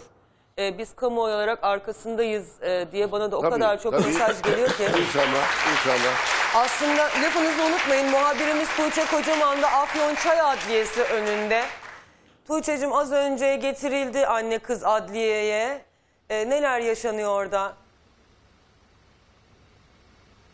Günaydın Müge Hanım, iyi yayınlar. Evet şu anda Çay Adliyesi'nin önündeyiz. Biliyorsunuz hepimizi derinden sarsan itirafın ardından hem e, Afyon İl Emniyet Müdürlüğü hem de Sultandağ İlçe Emniyet Müdürlüğü ekipleri de harekete geçtiler ve savcılık tati- talimatıyla Afyon İl Emniyet Müdürlüğü'nden bir ekip İstanbul'a doğru yola çıktı anne kızı almak için ve sabahın çok erken saatlerinde Afyon İl Emniyet Müdürlüğü'ne getirildiler ve oradan da buraya Çay Bölge Adliyesi'ne getirildiler ve az evvel içeriye giriş yaptılar. Kendilerini içeriye girerken gördük. Gerçekten ikisi de çok çok üzgünlerdi. Ağlamaktan gözleri şişmişti ve e, ikisi de içeriye girdi. Hem anne hem de kız ve şu anda da savcı karşısındalar. İkisi de savcı karşısında ifadelerini veriyorlar. Ardından da mahkemeye sevk edilmeleri bekleniyor Müge Hanım. Buradaki gelişmeleri de aktaracağız sizlere. Tuğçe'cim bu kararı hepimiz dört gözle bekliyoruz. Yani en merak ettiğim karar bu herhalde bu zamana kadar. Hepimiz dört gözle bekliyoruz. Ben Afyon İl Emniyet Müdürlüğü'ne, başta emniyet müdürümüz olmak üzere tüm çalışanlarına çok teşekkür ediyorum. Ee, onlar da çocuğumuza aynı hassasiyetle yaklaştılar. Ee, Sayın Müdürüme teşekkür ediyorum. Ee, Sayın Başsavcımız da e, inanıyorum ki o da yayını izliyordur. Sayın Savcımızla beraber ben onların da e, ev- evladın kurtarılması yönünde bir karar vereceklerine inanmak istiyorum. Yani bir insanın verilen suç bir insanın hayatını bitirecek nitelikte olmamalı. Bak bunu kardeşim yaptıysa en ağır cezayı alsın diyen ben söylüyorum. Dünden beri sabaha kadar hep bunu düşündüm. Hep derdim ki mesela Türk Ceza Kanunu'nu yazan hocalarla da çalışma ve konuşma, tanışma fırsatı buldum. Beraber e, onlardan ders alma fırsatı da buldum yüksek lisans yaparken. Sorduğum soru şuydu. Yani ne münasebet işte iyi hal indirimi var. Bunu hiç anlayamıyordum yani. Tüm onu düşündüm ya. İyi hal indirimi buymuş işte. Yani iyi hal indirimi.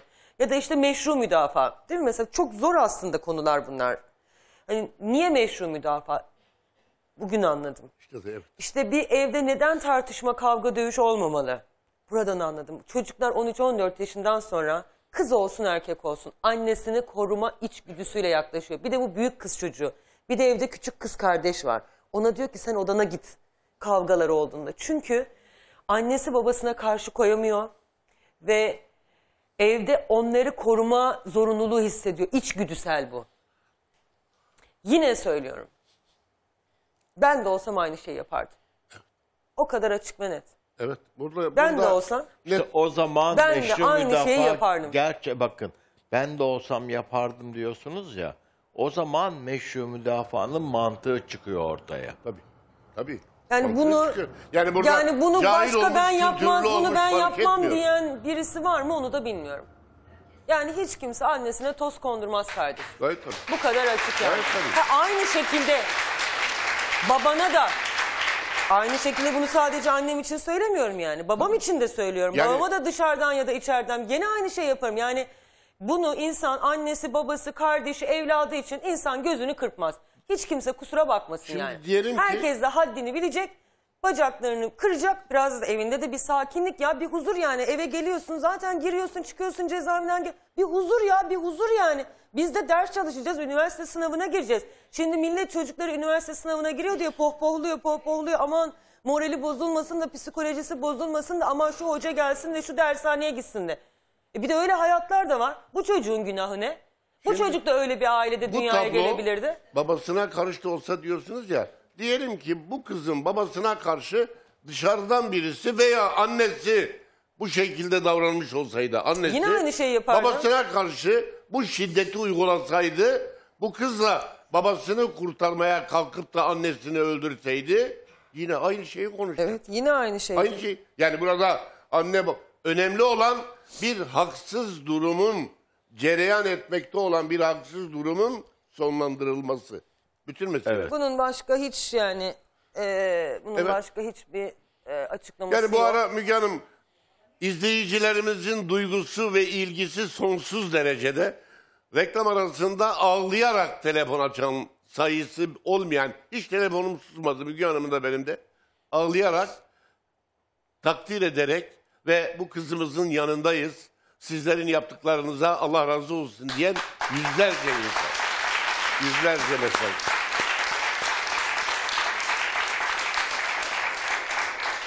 Peki efendim Sultan Dağı İlçe Emniyet Müdürlüğü bakın evde de arama çalışmaları yaptı. İşte o görüntüler.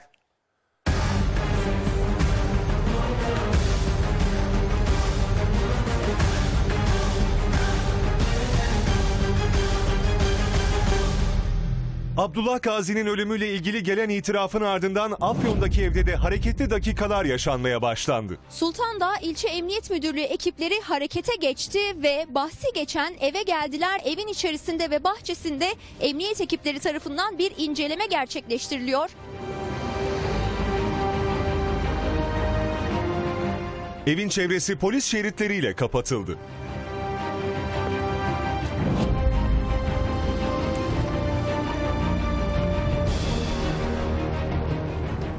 Emniyet ekiplerine Sultandağ İlçe Jandarma Komutanlığı ekipleri de eşlik ediyor ve olay yeri inceleme ekipleri şu anda buradalar. Hem evin içerisinde hem de evin bahçesinde bir inceleme gerçekleştiriyorlar.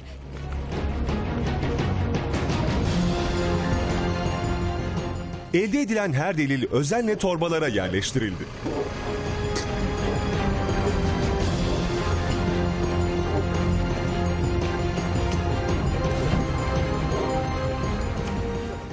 İçerisinden çok sayıda halı ve battaniye çıkarıldı. Bu deliller incelenmek üzere kriminale gönderilecek.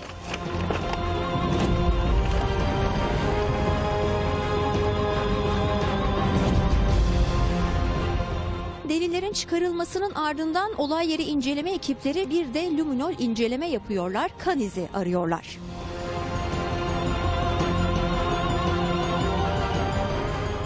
Ve luminol incelemede de elde edilen deliller toplanarak delil poşetlerine yerleştirildi.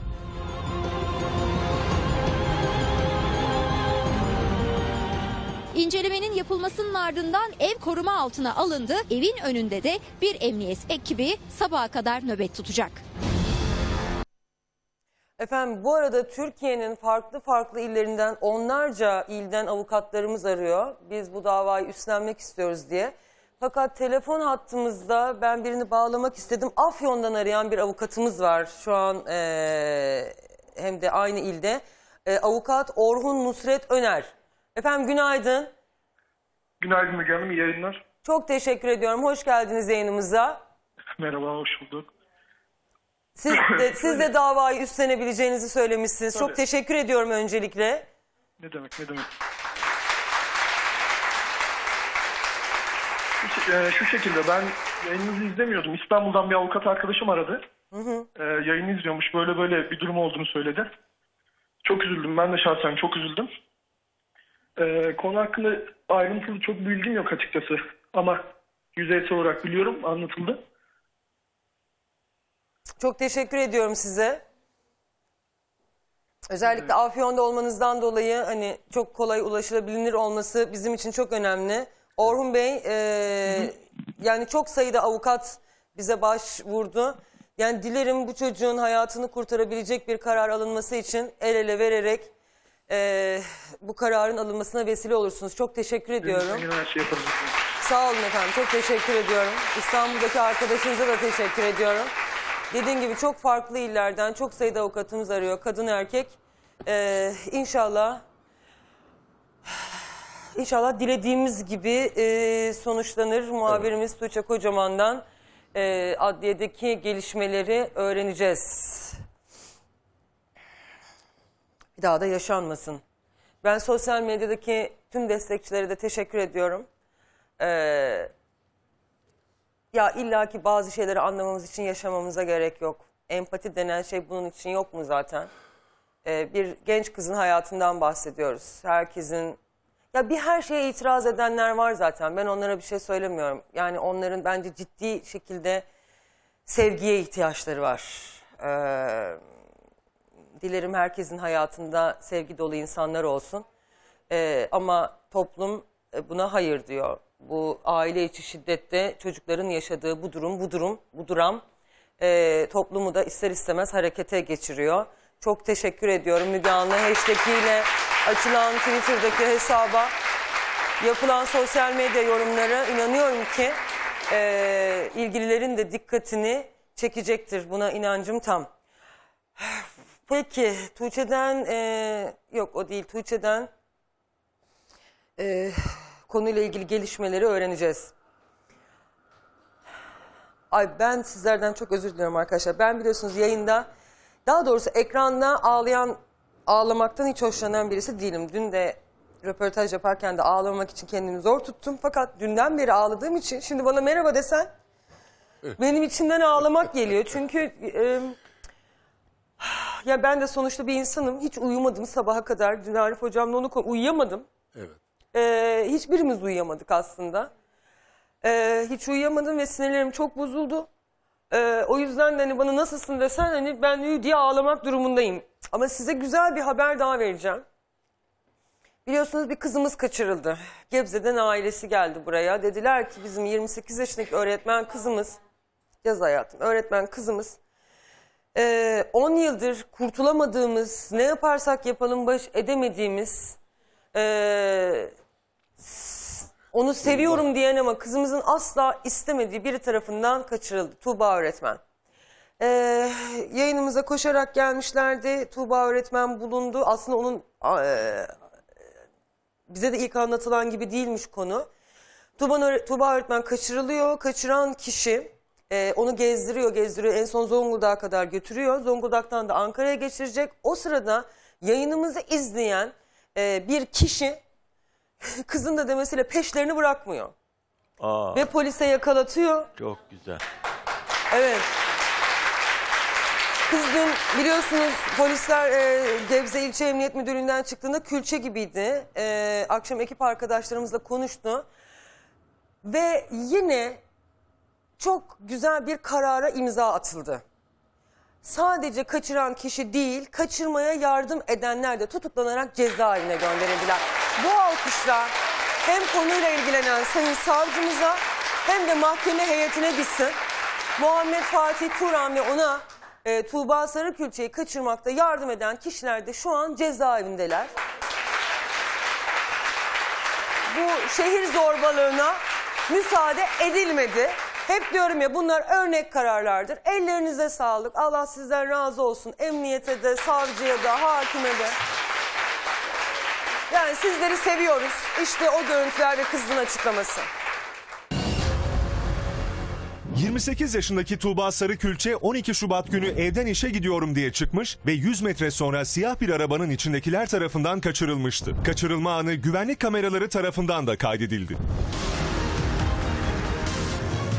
Aile kızlarının bulunması için soluğu stüdyomuzda aldı. En azından sesini duyalım. Kız kardeşimin bulun ne olur. Tuğba Sarıkülçe 10 yıldır Muhammed Fatih tarafından rahatsız ediliyordu. 10 yıl boyunca neredeyse her sene şikayetçi olduk diyebilirim. E bir kere daha kaçırma teşebbüsünde bulundu. Tekrar şikayetçi olundu. Kız kardeşim peşini kesinlikle bırakmadı. Ailesine sesleniyorum Fatih'in ailesine. Efendim zorlu güven- güzellik olur mu? O zaman tutsun tutsun herkes kaçırsın kolundan. E konu komşu ne der evlenmek zorundasın benimle. Yok öyle bir hayat yani. Geçti artık o devirler. Ekibimiz yayınımızın ardından öğretmen Tuğba Sarıkülçe'nin en son görüldüğü yere gitti. Şu an bulunduğumuz dört yol ağzı sizin evinizden yaklaşık 100 metre uzaklıkta öyle değil mi? Evet.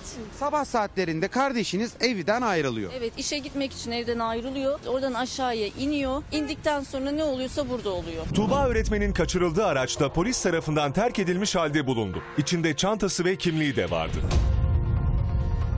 Gebze polisi araştırmalarını derinleştirirken aileye güzel bir haber geldi. Tuğba Sarıkülçe'nin yanında olduğu kişi yayınımızın ardından emniyeti aramak zorunda kalmış ve genç kızı emniyete getireceğini söylemişti. Buraya getiriliyor diye söylediler. Öyle bir haber e, Aldık. aldık. E, yani şu an beklemedeyiz. Ailesi, annesi, babası, abim, yengem, teyzesi, halaları. Hepsinden Herkes heyecan içerisinde. Aynı saatlerde evden de bir haber geldi. Öğretmen Tuğba Sarıkülçe de annesini aramıştı. Anne ben iyiyim. Beni merak etme. Beni getirecek. Biz anlaştık. Yeter ki sen gel. Ben seni göreyim dedi. Öğretmenimizin bütün akrabaları, komşuları evin içinde sabaha kadar meraklı bir bekleyiş vardı. Tuğba Sarıkülçe'nin akşam saatlerinde Gebze Emniyetine teslim edilmesi bekleniyordu ama olmadı. Şu an için aile kızlarını göremedi ama önümüzdeki zaman dilimi içerisinde her an Tuğba öğretmen yanlarına gelebilir. Şu an tek dileğimiz onu görmek ve çok çok sarılmak istiyorum. Başka hiçbir şey istemiyorum. Tuğba Gebze'den Zonguldak'a kaçırılmış. Zonguldak'tan da Ankara'ya kaçırılacakken Muhammed'i ikna ediyor. Geri dönelim ben de ailemi ikna edeceğim işte evleniriz falan diyor. Polise haber veriyorlar ve efendim şu an kızımız Gebze İlçe Emniyet Müdürlüğü'nde bulundu. Kız kardeşinin ifadesi alındı. Allah'a şükür hayatta sağlıklı. Başına daha kötü bir şey gelmemiş. Çok şükür. Ee, çok da akıllıca davranmış. Çok şükür. Genç öğretmen iki gün içinde dehşeti yaşamıştı. Silahla tehdit edilen Tuğba öğretmen ifadesinin ardından ailesine teslim edildi. Şu an Tuğba öğretmen çıktı. Evet. Ay canım benim Evet ya. ailesiyle şu Ay anda canım benim. kucaklaşıyor. Ay yazık yazık sana. Ay sağ salim bulundu ya.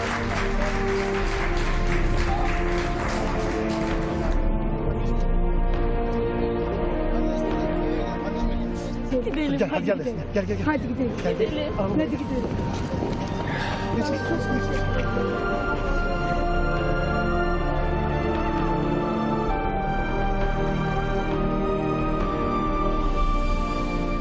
Korku dolu iki gün yaşayan aile kızlarına kavuşmanın mutluluğunu yaşadı. Sarı Külçe ekibimize o dehşet anlarını yaşadıklarını anlattı. Yerimizi bildiren kişi Müge Anlı sayesinde öğrenmiş. Müge Anlı'nın e, adını duyunca ortalığı ayağa kaldırdı. Polisler de gelince olay çözüldü. Müge Anlı'ya teşekkür ederim gerçekten. Desteği burada çok büyük oldu. Çünkü çok fazlaca zamanla yarışıyorduk. Tuğba öğretmeni kaçıran Muhammed Fatih ve iki arkadaşı da gözaltına alındı. Emniyetteki sorgularının ardından adliyeye sevk edilen 3 kişi kişiyi hürriyetinden yoksun kılmak suçlamasıyla tutuklanarak Kandıra cezaevine gönderildi. Evet efendim gün içinde Muhammed Fatih Turan başta olmak üzere 5 kişi gözaltına alınmıştı. 5 kişiden 3'ü tutuklama isteğiyle nöbetçi mahkemeye sevk edildi. Gece geç saatlere kadar sürdü e, mahkeme ve hem e, kızı kaçıran şehir e, eşkıyası hem de ona bu kaçırmada yardım eden iki şahıs kişiyi hürriyetinden yoksun bırakmak suçundan tutuklanarak Kocaeli Kandıra cezaevine gönderildiler. Bir de ayrıyeten arabalarında silah da bulunmuş. İşte hepsi hepsi Yani hepsi silahla silah zoruyla zorla adam kaçırmakta. Bu şimdi tutuklamaya bir tek hürriyeti e, tahdit diye yazılmış. İleride açılacak iddianamede silah zoruyla adam kaçırmak, hürriyeti tahdit ve zorla alıkoymak. Bütün bunlar ayrı ayrı ceza yasamızda müeyyidesi olan, karşılığı olan suçlar ve cezalar. Ama bu da bu da gerçekten örnek bir karar. Örnek karar. Ee, Yanındaki kim olursa olsun yardım edenler de en az o silahı gösterip bizzat kaçıran kadar aynı cezaya müstahak olacaktır.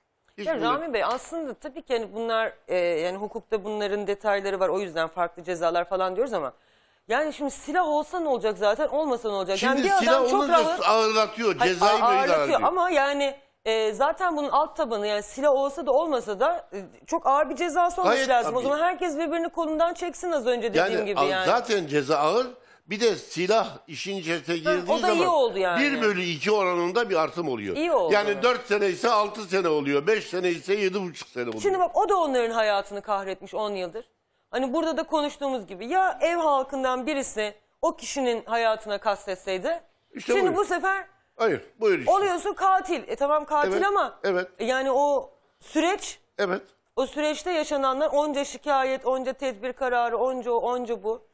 Yani Maalesef. işte diyorum ya biz bunu burada aileleri tanımasak işte bir gazete küpüründen ya da internetten görüp şöyle oldu deyip geçiyorduk ama işin içine girince işin içinde çok farklı detaylar olduğunda görüyorsun. Belki bu kadar yıpranmamızın, tepki göstermemizin, Duygular var üzülmemizin, işin duygulanmamızın içinde. nedeni de bu. Evet başka Duygu- duygular var yani. Burada duygular var. hepimiz insanız. Evet.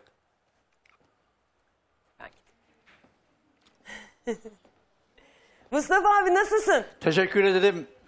Müge Hanım. Hoş geldin. Dur ben öpeyim dur. Ya olur mu ya? Rica Aşk ederim. olsun Katiyen ya. olmaz. Ha? Olmaz. Hoş geldin, hoş, Hoş geldin bulduk Mustafa kardeşim. abi. Ben size minnettarım hepinize. Teşekkür ederim Biz, ağzından. biz de seni çok seviyoruz. Gel buyur Mustafa abi. Parketteki diş, taş, pa- asfalttaki taşlarınıza dahil her şey mü- e, minnettarım yani. Ay çok teşekkür ediyorum. Gel buyur Mustafa abi. Mustafa abi buraya niye gelmişti? Dur biraz havamız değişsin mi arkadaşlar? Ha? Benim gene ensem tuttu. Mustafa abi buraya niye gelmişti? Bir izleyelim.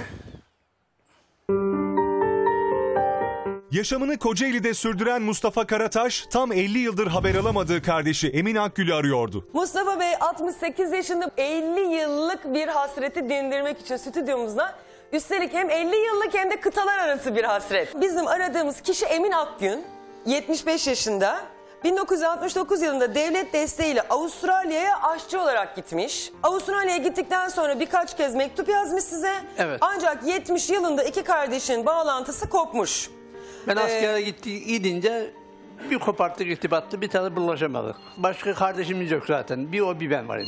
Ha, Öyle mi siz iki Evet. kardeşsiniz? İki kardeşiz. Ha. Annemin 44 depreminde boyun değmişmiş o.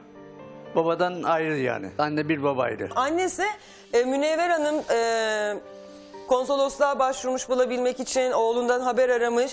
Daha sonra anne oğlunu araya araya hayatını kaybetmiş hiç ulaşamamış. 25 yaşındayken dünyanın diğer ucundaki ülkeye çalışmaya giden kardeşini en çok da teyzesi için bulmak istiyordu Mustafa amca. 105 yaşında teyzeniz varmış. Zaten sırf onun için çaptım. içimde ahtım kalmasın diye. Bir bayram delini öpmeye gidiyorum. Kapıdan girmeden hemen bozuk atıyor bana. Sen ne biçim kat dersin, niye bulmuyorsun bir kardeşini diye. Efendim aradığımız Emin Akgün nüfus kayıtlarında da yaşıyor görünüyor. Belki de bağlantısı işte koptu onun da size. Bir yakını varsa, evlendiyse, çocukları varsa. Minnettardır oluruz efendim. Bana dese yine ben biletimi alamıyorum. Ya durumum bozuk dese bilet parasını da gönderirim alır da. Fakat hasretlik işte içimde ahtım kalmasın diye. Bir o bir de teyzemin için 105 yaşındaki teyzemin için sırf 3 günden beri burada bekliyorum bak. Ay canım benim. İnşallah bakalım bir gören bilen vardır bizi arar Mustafa Beyciğim. İnşallah. İnşallah efendim.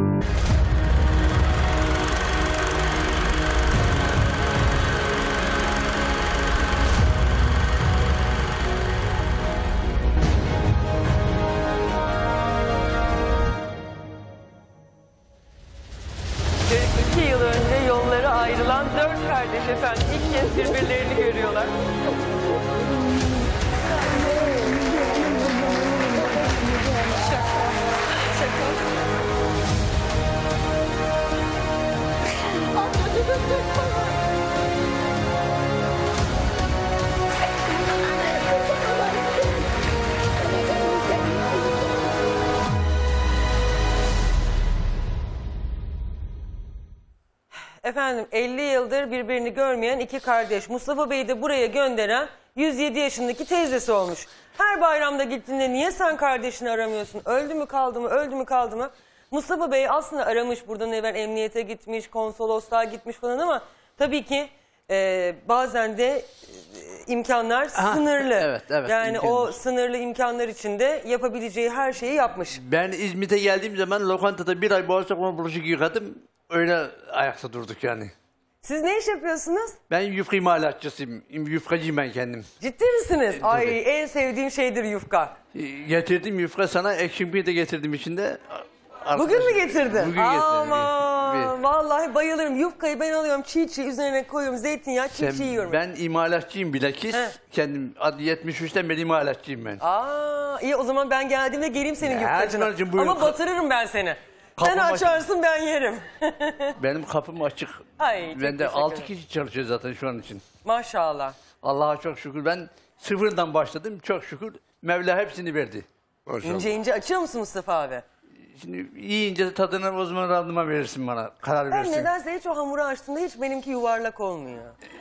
Şimdi ben sana bir şey söyleyeyim mi? Unu bir kere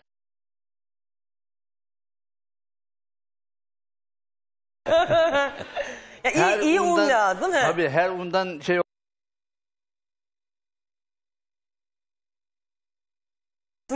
Heh. Yani diyorsun ki iyi bir un var ben ondan yapıyorum o yüzden Gayet güzel tabii. oluyor. Un çok çeşitli her undan katten uğralık bile olmaz. Bak anne ben şimdi öğrendim unun markasını.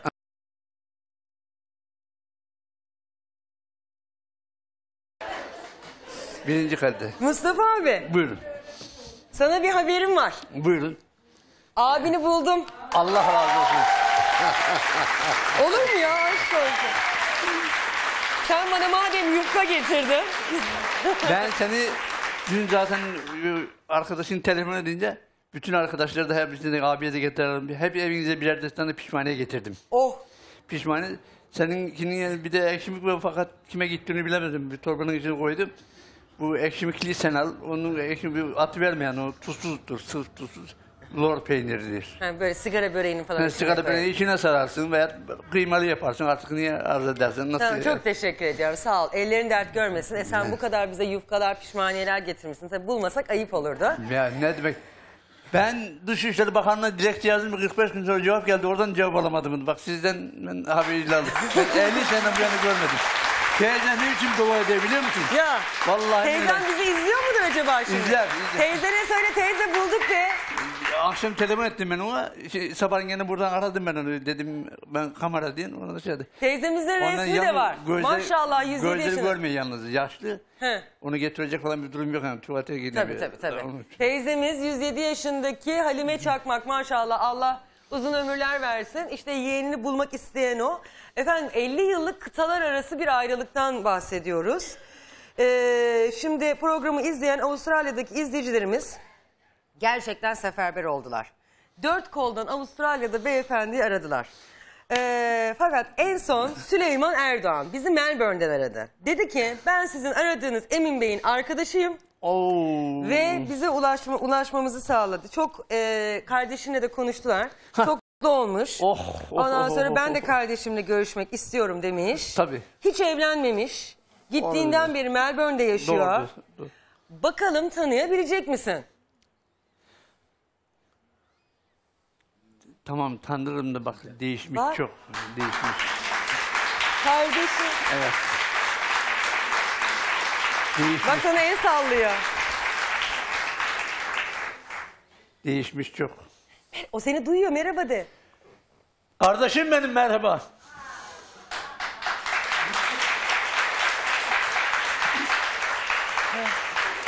Gel gel oraya yakın gidelim gel. Niye sesi duyamıyor muyuz? Biraz açalım. Heh. Konuş konuş. Abi. He. Ya 50 seneden beri neredesin ya? Neredesin Allah aşkına adam bir ölüm da bir haber veriyor ya.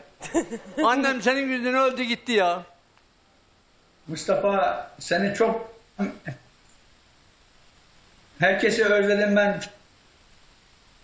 Bu dünya, Onun için ben e, dünyada sen bir başka köyde dünyada bir sen varsın Sen bir ben varım. Başka yok. sen sen e, o zamanları benim e, bilmezdim ben 8 yaşında çobanlık yaptım. E, e, e, ben büyüten adamım. E, biraderim ne yapalım ben sen 69'da bir ayrıldık bir daha kavuşamadık. Ben Beni bir gün ok göndermedi de Nazım Hoca. Nazım Hoca tanırsın. bırak o öbür tarafta soğanını o versin. O, o senin hakkın orada soğanını o versin. Ne soğanını? Şey oluyor. Ne soğanlı abi? Ne soğanı? Anlamadım. Soğan Ha, yani. soğanini ay benim de artık sağırdığımız Yani hakkını o verdirir. Ha, anladım anladım. O- onun yanında- Ha, onun nas- yanında çoban- Nasılsınız Emin Bey nasılsınız iyi misiniz? Teşekkür ederim e, Müge Hanım. E, çok memnun oldum e, kardeşimin hakkında görünce. Ne zaman görüşeceğiz abi nasip olursa? Ne zaman görüşeceğiz? Ne zaman bir bu tarafa yolculuğum olacak? İmkanların Ee, yüzü bile... Bazı kesiliyor. İmkanların yüzü bileti falan ben alayım. Emin Bey Yok kardeşiniz... istemiyorum. Aa, kardeşiniz diyor ki ben bilet alayım, ben bilet alayım siz gelin bir Türkiye'ye kucaklaşalım diyor. Ben yardıma is- e, e, is- etmek istemiyorum. Kabahat benim. Ben hayatta ben hayatta evlenmedim. Ya Yabancı, tamam. e, Sen zaten teyzem Halime teyzem biliyorsun Bozkuş'taki. Onun şeyine duramadım, dayanamadım. Ben zaten seni devamlı yerelden bu yana arıyordum. 70'ten bu yana ben senden görüşemedik yani bir türlü. Mektuplaşında, mektuplarda birbirimizi kaybettik adresi. Ben seni 45 gün sonra cevap geldi orada. Ben de eski adresi istiyordum. Eski adresini de bulamadığım için hiç yapamadık kardeşim. sen bana buraya gelince iki sene önce iki sene sonra mektup yazdın bir acı mektup. Ha yazdım işte mektuplaştık birkaç sene. Ondan sonra bir tane yap, 70'i ben askere gittim. Çok Askere gittikten Ondan sonra bir tane şey yapamadım. Ye, e, çünkü Türkiye'de benim e, kalbim karardı. Onun için gitmek istemedim bu beni büyüten adam hoca, Nazım Hoca'yı.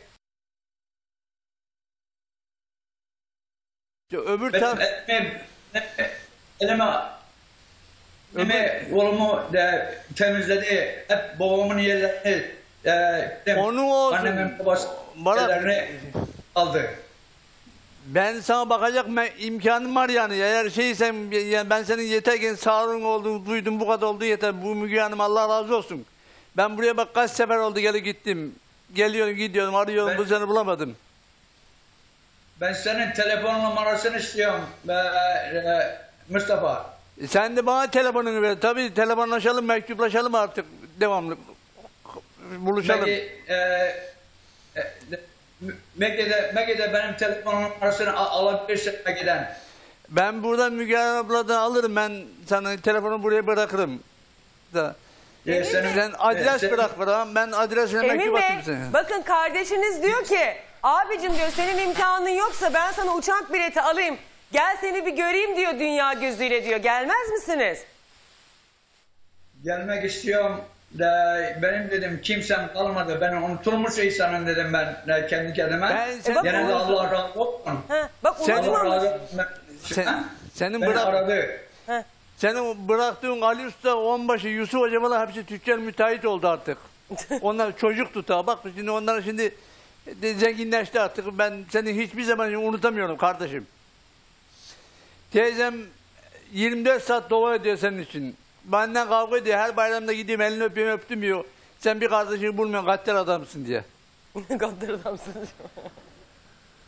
Emin Ee, Bey. Ben de işte İzmit'te kalırken e, Bolu lokantasına çalışıyordum. Fatih Bey falan öldü. Ondan sonra Sabancı, Sabancı'da Tebrik Esmer e, işimi yaptı 15 günde. Senin ben Sabancı'da çalıştığını bilmem de Bolu Rasatı Necati Bey falan öldü. Senin eski tanıdıklardan kimse kalmadı. Seni eski tanıyanlar falan az bir kaldı yani. Mehmet Bey, şimdi siz ülkede kime kızdıysanız diyor ki kardeşiniz, onların hepsi öldü diyor. Sonra diyor yani ahirette yaparsınız sorgu sualini. Sen gel ben seni göreyim bir de teyzen de seni görmek istiyormuş diyor. O Bozkuş'ta Halime teyzem vardı ya. O şimdi burada kızının yanında o falan 24 saat dua etti. Allah razı olsun. Onun için o benimle kavga ediyor. Zaten onun için yaptığını şuurlu. Ben de senin bir dakika unutamıyorum yani her zaman için. Anam gözü açık gitti senin için. Aynen yes. Çok teşekkür ederim kardeşim. E, e, benim benim kalbim çok kırık. Çünkü e, e, e, o, o adam büy- büyüden adam beni çok döverdi. Sen sen bilmiyorsun o o, o şeyi. Biliyorum. ben biliyorum birader az çok az şey hepsini öğrendim ben ama Allah öbür dünyada versin sualini boş ver. Peki o zaman şöyle yapalım mı? Ee, Emin Bey, şimdi arkadaşlarımız sizinle bir görüşsün. Siz de bir düşünün taşının. Eğer gelmek isterseniz yani bir dünya göz ölümlü dünya. Gelin bir kardeşinizle kucaklaşın, bir teyzenizin elini öpün. Kadıncağız da 107 yaşında bak seni bekliyor yani. Canlı Sen bir düşün biz- bakalım. Emin Bey, bizim programa gelin. Programda kardeşiniz Mustafa Bey'le bir rahatça koklaşın, öpüşün. Biz de sizi tanımış olalım. Davet ediyoruz, bekliyoruz. Geleceğim, geleceğim, geleceğim. Ölmeden hayat, hayat kısa, geleceğim. Tamam, tamam. Tamam. Sen adresi Ben vereceğim adresi falan sen merak etme Tamam bende var hepsi. Hepsi Tamam. var. Yani bir de bağlantıyı da kopartmasanız tabii daha iyi olur yani. Kalan 50 kopmaz. yılda ne demek yani? Kalan kopmaz, kalan Heh. kopmaz. Kalan. Tamam 50 yıl ne Herkes demek? bunu öldü diye bana diyor annesini arıyorsun, ölen adamı, ölen annesini arıyorsun diyor. E, soyadı da değişmiş de biraz ondan Ha. bulamamışsın abi. Soyadında da bir değişiklik Artık olmuş. O olabilir yüzden belki. e, aslında bulunamamış yani. Onbaşı falan telefon ediyor. Senin onbaşı, Abdül'ün onbaşı niye diyor şey yaptı, arıyor diyor. Benim benim soyadım Emin Emin Akgün. Ya Akgün ben değil. senin emniyetten falan şeyi çıkardım. Akıl, şey, kardeşim senin emniyetten falan pasaport geliş tarihini falan çıkarttım ben. Hepsini ben orada zaten ona göre çıktım yola. Tamam inşallah o zaman dur bakalım. Şimdi biz bir konuşalım telefonla değil mi Mustafa abi? Peki hadi. Öptüm. Ay. Çok sağ ol. Değişmiş mi? Değişmiş. He? Değişmiş. Tanır mıydın yolda görsen? Zor tanırdım. Ya. İnan zor Aa. tanırdım. Gözün aydın Mustafa Bey. Gözün aydın. Ay seni de Teşekkür böyle ederim. boş göndermedik de çok sevindim. öpeyim yine. Yok estağfurullah. Estağfurullah. Hadi gözün aydın. Vallahi çok teşekkür ederim. Ben çok teşekkür ederim ben de. İyi ki Hepinize geldin. minnettarım ya. Emin Bey'e de çok teşekkür ediyorum. Bu arada Emin Bey'in yanında e, Sayın Zafer Işıklı var. Zafer Bey size de çok teşekkür ediyorum.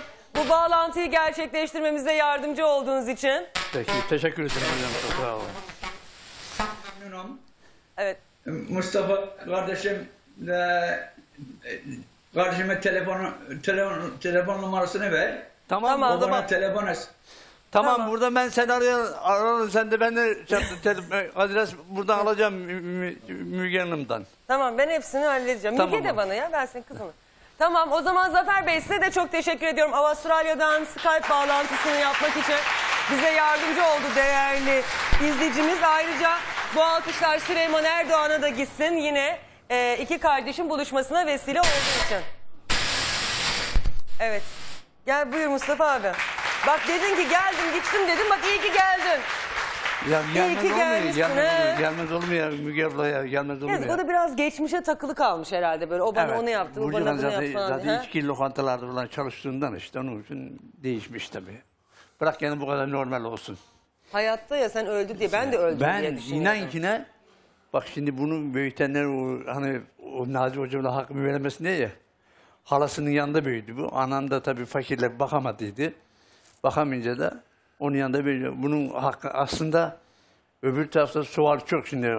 Belki hocaların mantıklı. Malı, bunun malı yeri vardı. Tarlası tabanı vardı. Bana kalsın diye. Mesela bizim aşağı öğrenmiş kütüğünden yukarı öğrenmiş kütüğüne kayıt ettirivermiş. Ha, malı içinde problemler yaşadı. O yüzden de tabii. diyor ki benim için Şimdi karanlık ona ülke kahrediyor nedeni o yani. Kızmış Ona insanlara. kahrediyor bu. Şimdi bunu çok affedersin nüfusta gittim. Sağ gözüküyor. Bunu sen benim her zaman evladımı kardeşim olan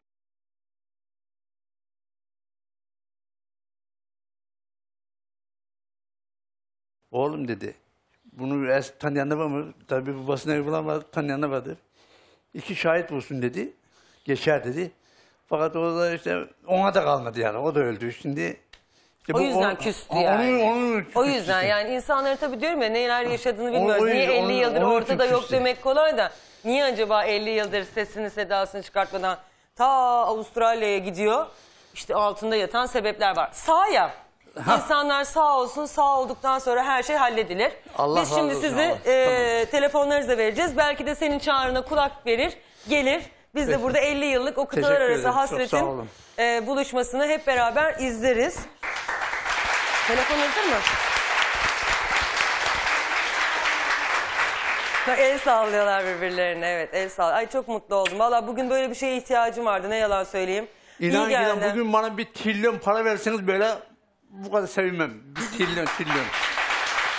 Çok sevindim ben de. Gözünüz aydın olsun inşallah. Allah bir daha sevdiklerinizden Hatta ayırmasın. kalbim duracaktı. Vallahi billahi korkuyordum yani. Ay öyle şeyler demeyin Allah aşkınıza yani. Allah vallahi. korusun, Allah Herkes korusun. ilacını içsin, tansiyon hapını falan içip gelsin buraya. Evet, Burada her, her an her şey olabilir. Ee, efendim bizi Afyonkarahisar Milletvekili Sayın Mehmet Taytak aramış. Evet. Ee, Sayın Vekilim günaydın.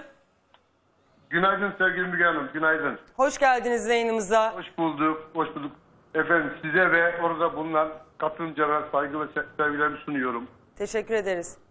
Uzun bir dönemdir yapmış olduğunuz Müge Anlı ile Tatlı Set programını tüm Türkiye ve biz ilgiyle seyrediyoruz. Çok teşekkür ederim. Bugüne kadar pek çok problemi çözdünüz. Katilleri buldunuz. Pek çok aileleri birleştirdiniz. Kayıpları buldunuz. Yürekli, dürüst ve kamu niteliğinde programlar yaptığınız için sizi gerçekten bütün yüreğime tebrik ediyorum. Çok teşekkür ediyorum efendim. Sağ olun. Sizden duymak çok güzel. Teşekkür ederiz. Bugünkü programınızda da Afyon Karahisar'da yaşanan çok üzücü bir olayı ve dramı gündeme taşıdınız. Talihsiz bir şekilde annesini korumak için babasını öldürmek zorunda kalan kızımızın dramını. Elbette böyle bir olayı tasvip etmiyoruz. Ancak üniversiteye gitme hayalleri kuran kızımızın hapishaneye girmek zorunda kalması da bizi çok üzüyor. Bu üzücü bir durum ve bu üzücü bir husus. Onun için kızımıza sahip çıkacağım. Uzun yıllar uzun yıllar babası tarafından annesi ve kendisi eziyet gören kızımızın annem için her şeye değer ifadesi, her şeye cevaptır diyorum. Ve kızımızın sonuna kadar yanında olduğumu ifade ediyorum. Size ve oradaki bulunan tüm izleyicilere saygılar ve sevgilerimi sunuyorum efendim. Çok teşekkür ediyorum Sayın Vekilim.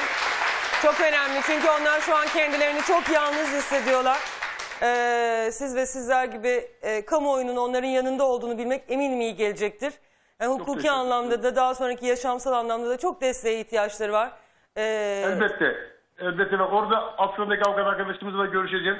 Telefon numaralarını zaten bıraktım oraya. Evet. Aileyle de görüşeceğim inşallah. Ne gerekiyorsa kızımızla ilgili hem kamu noktasında hem e, e, ihtiyaçlar noktasında gereken her şeyi efendim yerine getirmeye çalışacağım. Çok teşekkür ediyorum efendim. Sağ olun. İyi ki varsınız. Çok teşekkür ediyorum.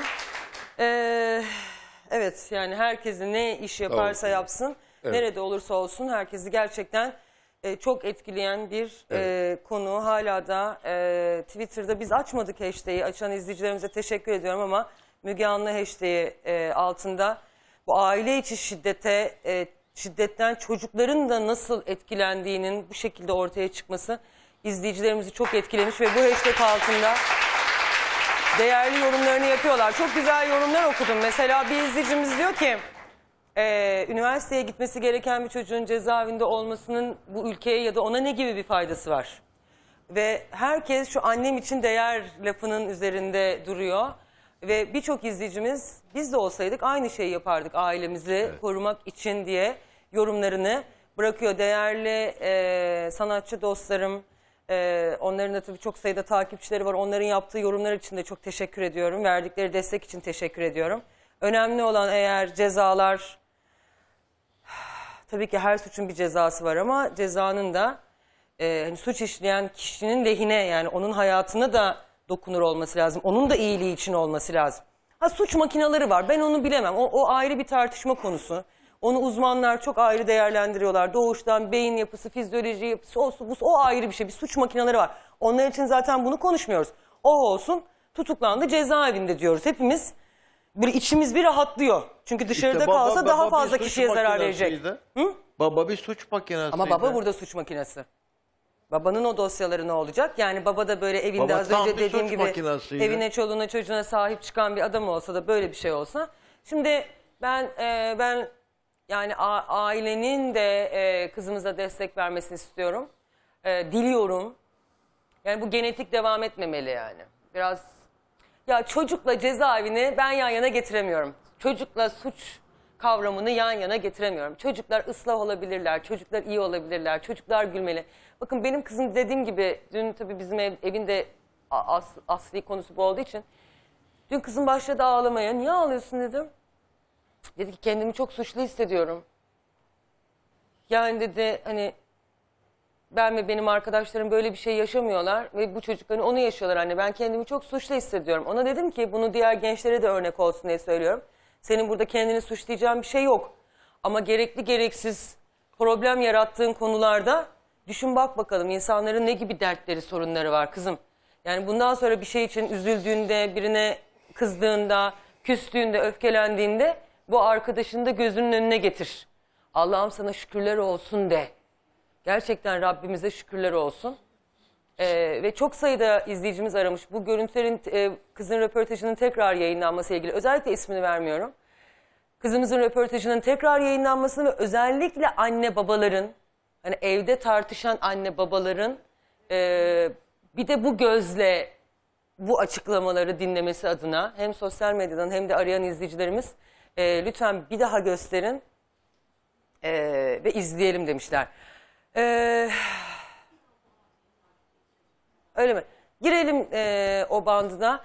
E, ondan evvel ya hafta bitmeden onu izleteceğim size ama hafta bitmeden aslında çok güzel görüntüler geldi ama bu hafta biliyorsunuz yani gelen itiraf böyle bir deli bir hafta yaşadık. İyi oldu yani suçlar cezaya girdikleri konular açıklandı falan oralarda çok mutlu oldum. Yani bu son olay haricinde. Ama ee, çok güzel bir görüntü geldi elime. Efendim Türkiye'nin en yüksek 5. dağı olan Erciyes Dağı zirvesinde Türkiye Dağcılık Federasyonu'na bağlı dağcılar e, bizlere bir sürpriz yapmışlar. Her zaman söylüyorum bu program hepimizin. O yüzden hepimize yapılan bir sürpriz bu. Ee, Sevcan burada var mı kartı? İsimlerini de okumak istiyorum. Tarık Bünyamin Kaya, Ahmet Köse, Yavuz Küçükşahin, Fatih Bozkurt, Refika Ulutan ve 40 kişilik özel tırmanış ekibi efendim. Dağın zirvesine e, Müge Anlı ile Tatlı Sert pankartı açmışlar. Dağın zirvesine gördük. Hiç görmemiştim öyle. Aa. Ve bize sevgi ve saygılarını göndermişler. Binlerce metre yukarıdan. İsterseniz o görüntüleri izleyelim. Ya hayatta güzel şeyler de oluyor. Güzel uğraşılar, enerjini doğru yola harcamak falan gibi şeylerden bahsediliyor ya. Hayatta güzel şeyler de oluyor. Ama bazen de işte boşta kalan, aklı hep kötülüğe çalışan insanlar ne yazık ki toplumun da ruh sağlığını bozacak kadar e, kötülüklere imza atabiliyorlar. Önce Erciyes'in zirvesinden görüntüler, ardından her birimize ders niteliği taşıyan bir lise öğrencisinin annem için feda olsun, annem ölecekti, ben de onun yerine babamı öldürmek zorunda kaldım diyen bir lise öğrencisinin itirafları.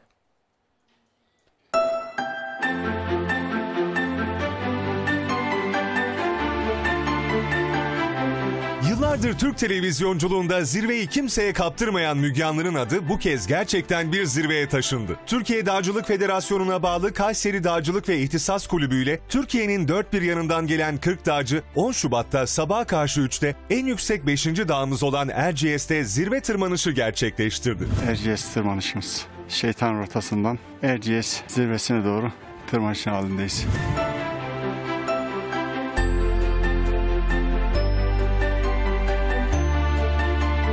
Ekip sabah saatlerinde tam 3917 metrelik Erciyes Dağı'nın zirvesine ulaştı. Dağcıların Müge Anlı'ya zirvede bir sürprizi vardı. Sevgili Müge Anlı, ATV'de yaptığım programda e, Türk halkına çok büyük destek veriyorsun. Suçluları buluyorsun, katilleri buluyorsun, kaybolanları birbirlerine kavuşturuyorsun. İyi bir hukukçu oldun, e, üniversiteyi bitirdiğinde biliyoruz. Dağcılar e, sizi ve programınızı ve başarınızı 3917 metreye taşıyarak Erciyes'te size sevgi ve selamlarını gönderiyorlar. Ee, Tarık Bünyamin Kaya, Ahmet Köse, Yavuz Küçükşahin. Yavuz Küçükşahin, Fatih Özdoğan. Fatih Özdoğan. Sizi sevgiyle selamlıyoruz. Erciyes'ten dağımızda gösterelim. 3917 e, metreden size sevgilerimizi gönderiyoruz. Programınızda başarılar diliyoruz. Sevgiyle kalın. Müge Anlı'nın ismini eksi 15 derecede Erciyes Dağı'nın zirvesine taşıyan dağcıların Müge Anlı'ya selamı vardı. Müge Anlı'yla tatlı sert 3917 metre Erciyes zirvesinde diyoruz. Selamlar. Başarılı ve usta gazeteci, aynı zamanda araştırmacı gazeteci olarak gerçekten güzel şeyler yapıyor. Kendisine minnet ve şükran duygularımızı belirtmek için Erciyes zirvesinde böyle bir sürpriz hazırlamak istedik. Çok çok teşekkür ediyoruz kendilerine. İyi ki varlar. İyi ki böyle bir yayınlar yapıyorlar. Minnet ve şükran duygularımızı ifade ederek Erciyes'ten kendilerine en derin sevgi ve selamlarımızı gönderiyoruz.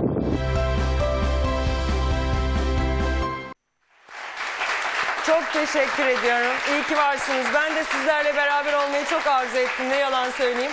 Ama sizlerin sayesinde dağın zirvesini de görmüş olduk. 3917. metrede işte dağın zirvesi de burada. Çok çok zor bir şey yani. Bunu da yapmak gerçekten kutluyorum. 40 kişilik dağcılık ekibi. Böyle güzel bir sürpriz hazırladıkları için de ayrıca teşekkür ediyorum. Bugün galiba buna da ihtiyacımız vardı. Böyle bir şey izlemeye de ihtiyacımız vardı. Hanımlar, beyler, erkek, kadın ayırmıyorum. İşte evde yaşadığınız ya da yaşayacağınız problemlerin nasıl kötü sonuçlar doğurabileceğini lütfen bir de bu çerçeveden izleyin efendim. Bu arada muhabirimiz Tuğçe e, hala adliye önünde. E, anne kızın sorgusu sürüyor. Savcılıktaki ifadelerin alınmasına devam ediyor. Nasıl bir karar çıkıyor hepimiz dört gözle Bekliyoruz. Eğer yine de programın içinde yetişirse Tuğçe'ye bağlanabilirsek yine arayı, e, arayı böler ve sizlere duyururum. E, bandı izleyelim sonra da veda edeceğiz.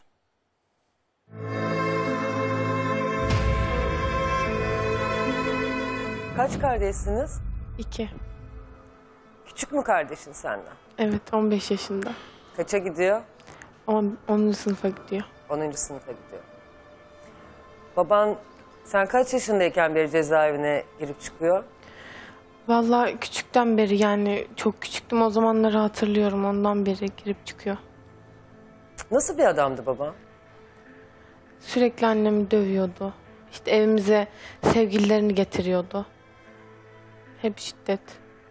Hep çocukları yaşında insanlarla birlikte oluyordu. Onları eve getiriyordu. Annemi kadından saymıyordu. Bizi çocuğu olarak görmüyordu. Bir kere hiç gelip de yanımıza çocuğum iyi misin? Bir derdin var mı, sıkıntın var mı diye hiç sormadı o zamana kadar. Peki babam bu kadınları eve getirdiğinde siz ne yapıyordunuz? Sizin bir tepkiniz var mıydı? Biz istemiyorduk getirmesini ama bizi hiç kaleye almıyor, dinlemiyordu. Anneni döverken görüyor muydun? Evet. Hep saçından başından testereyle dövüyordu. Evin arkasında çalıştığı yer vardı. Orada bir şey olduğunda testereyle dövüyordu. Eline ne geçerse vuruyordu onunla. Hiç acımıyordu. Yapma diyorduk. Bizi de dövüyordu. Sen de şiddete uğradın mı? Hı hı. Şikayetçi de oldun galiba bununla Oldum ilgili. evet. Ne oldu o şikayetin sonucu? Hapse girmiş bir sığınma evine gittik. Annemle birlikte. Hapse girdi sonra çıktı işte. Bizim adli evimizi oradaki evimizi öğrendiği için gelmek zorunda kaldık buraya. Tehdit ediyordu. Sen hatta çocuk yuvasına gitmeyi tercih Evet. etmişsin bir dönem. Geldi bizi eve götürecekti. Biz yurtta kalmayı tercih ederiz dedik. Onun yanında kalmak istemedik. Ne oldu sonra? Aldılar annemin yanına götürdüler. Bir daha ulaşamadı. Sonra yine buldu adresimizi. Korkuyor muydun babandan? Evet. Sürekli şiddet gördüğümüz için yani hiç yüzüne bile bakamazdık doğru düzgün. Annem bırakmıyordu. Ben çok dedim anneme git hayatını kurtar evlen diye. Bırakmıyordu. Annem de hep sizin için diyordu. Gitmem ben diyordu. İşte biz belini büken annemin bizdik zaten. O da bırakmıyordu. Annem buldu işte. Enayi olarak görüyordu. Her işimi yapıyor. Getirdiğim kadınlara, kumalara hiç laf edemiyor. Sen annene kızıyor muydun? Bazen kızıyordum, bazen de hak veriyordum. Böyle bir adamla. Yani yaşanmaz da bizim için hepsi. Annen sizi koruyabiliyor muydu peki? Elinden geldiğince işte laf ettirmemeye çalışıyordu. 18 Ocak'tan aslında 4 gün önce çıkmış cezaevine. Ne Evet. kadardır cezaevindeydi? 6-6,5 yıl oluyor. Arada gidip geliyor muydu? Evet, izne çıkıyordu. O izinde neler oluyordu? Bize bulaşıyor, kötü davranıyor. Bize bulaşıyordu genelde. Çatacak insan bulamayınca izinde olduğu için de işte pek bir şey de yapamıyordu ama yine laf sözü veriyordu bize. Anneni dövüyor muydu yine? Evet. Annen niye şikayetçi olmuyordu? Bir kere şikayetçi oldu zaten. Ondan sonra yine bulduğu için cesaret edemiyordu. Zaten diyordum ben de anneme git bizi bırak biz kurtuluruz bir şekilde zaten diye. Gidemiyordu o da cesareti yoktu onun da. 18 Ocak gecesi neler yaşandı?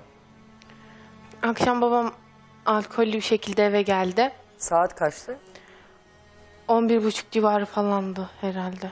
Alkollü olduğunu nereden anladınız? Kendi ağzıyla söyledi. içtim dedi. Arkadaşları vardı. Onlarla birlikte içmiş. Hatta annem niye içtin falan dedi. Sonra e, bir senet çıkardı. Annem- Senedi çıkarınca annen imzalamak istemedi mi? Evet istemedi. İmzalamayacağım dedi. Benim param pulum yok. Nasıl ödeyeceğim ben bunu sonra dedi.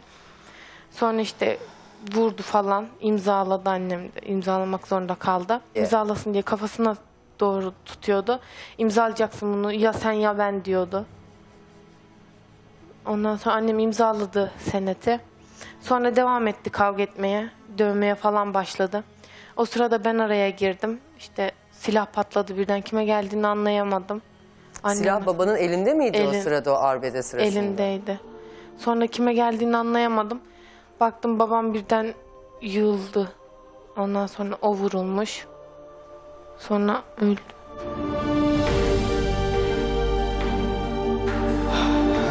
Senden mi kurşun çıktı babanın elinden mi çıktı? Yani o sırada o arbede anında belli mi kimden? Belli değil anlamadım tam. Ona denk gelmiş o öldü.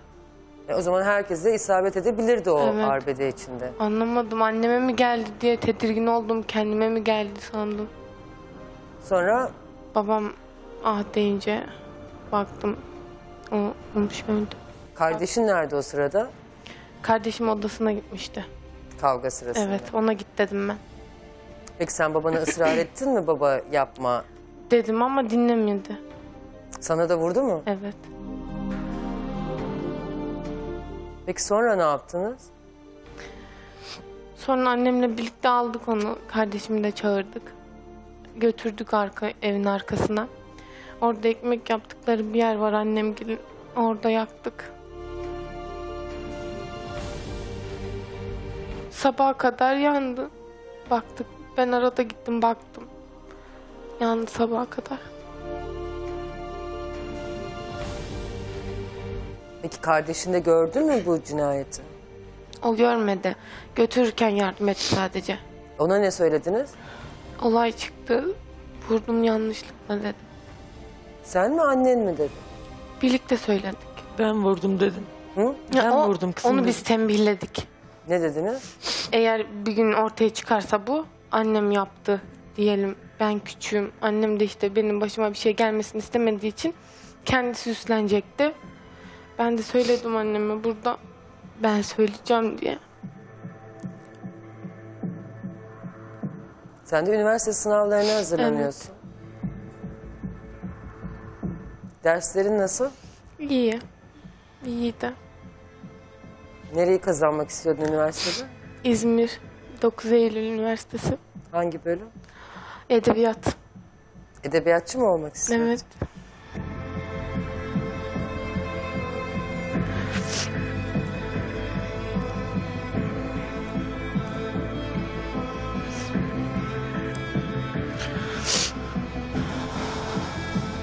Eminim ki böyle bir şeyin olmasını arzu etmezdin.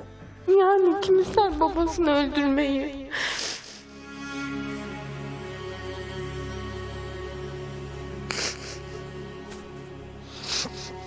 Anneni mi korumaya çalışıyordun aslında? Evet. Zaten annem yani benim için dünyalara bedel. Bize annelik yaptı, babalık yaptı bu zamana kadar. Anneme bir şey olmasını istemedim ben.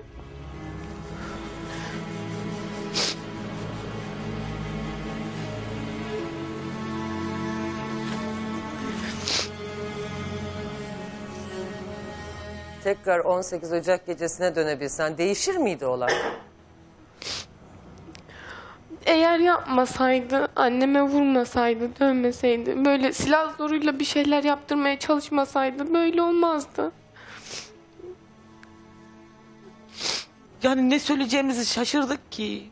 Adını ne koyacağımızı şaşırdık. Peki o sırada polisi aramak aklınıza gelmedi mi? Biz korkumuzdan yani beni bunlardan ayırırlar. Çocuklarımdan her şeyim. Polise demek hiç. O yüzden işte götürüp yaktık zaten. Demeyelim bizden bilinmesin. Saklayabileceğinizi düşündünüz. Ama saklayamıyoruz ki. Biz yalan söylerken belli ediyoruz. Müge Hanım biz yalan söyleyemiyoruz yani.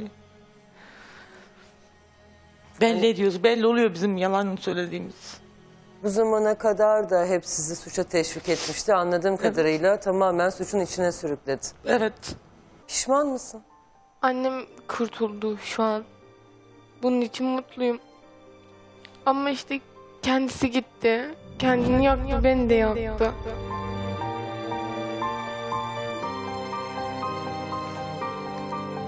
Annem için yani. Değer. Annen için de yani.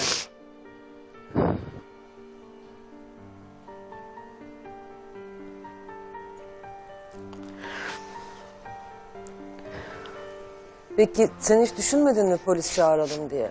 Sen daha aklı başındasın çünkü. Yani düşünmedim. Zaten olan olmuş. Alıp götürürler annemi diye korktum. Bizi ayırırlar. O yüzden saklamak istedik biz. Zaten annem kendisi üzerine alacaktı. Bunu bana çok söyledi. Senin üniversite sınavın var, hayatını karartma. Ben zaten yaşadım yaşayacağımı dedi. Ben kabul etmedim. Peki bu bir ayı nasıl geçirdin be yavrum sen bu yükle? Bilmiyorum ya evde sürekli gözümün önüne geliyordu. Evde. Ama eğer anneme yapmasaydı böyle davranmasaydı küçüklüğümden beri dövüyor zaten sürekli. Eğer öyle bir insan olmasaydı böyle olmazdı.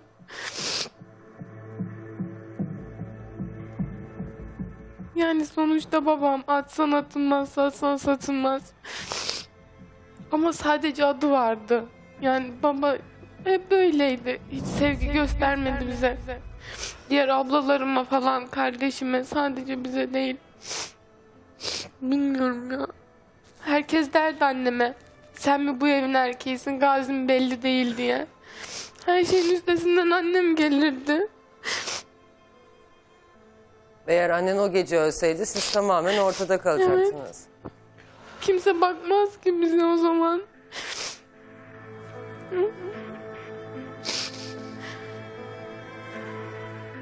Kadar üzgünüm ki.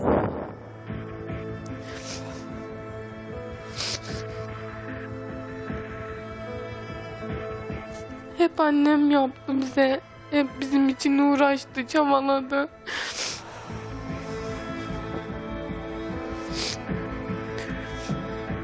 Bir de şunu da belirtmek lazım.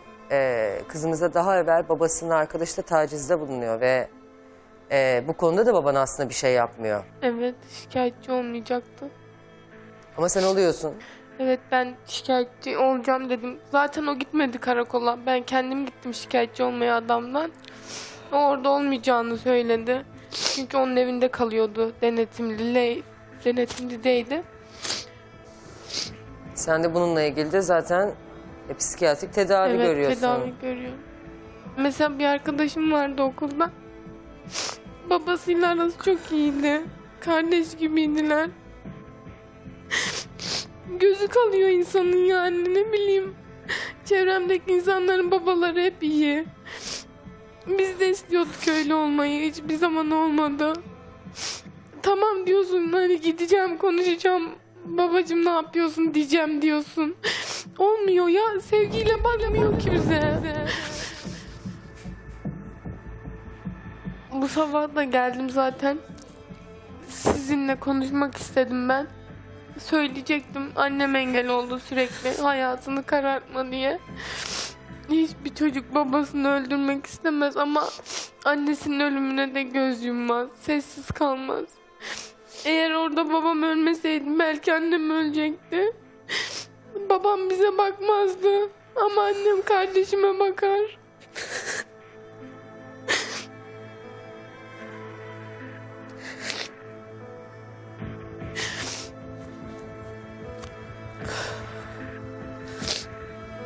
Çok üzgünüm. Keşke başka bir yolu olsaydı çok üzgünüm.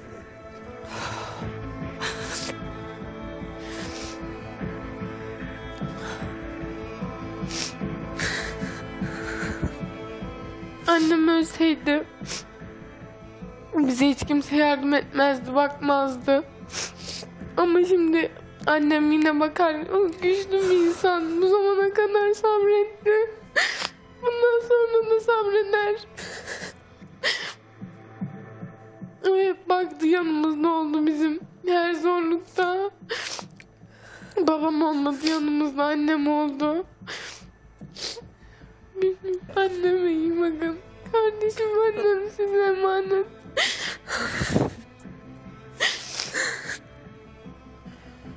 Merak etme sen şimdi kendini düşün. Sen iyi olursan annen de iyi olur. Tamam mı? Sana gerçekten hiç kıyamıyorum.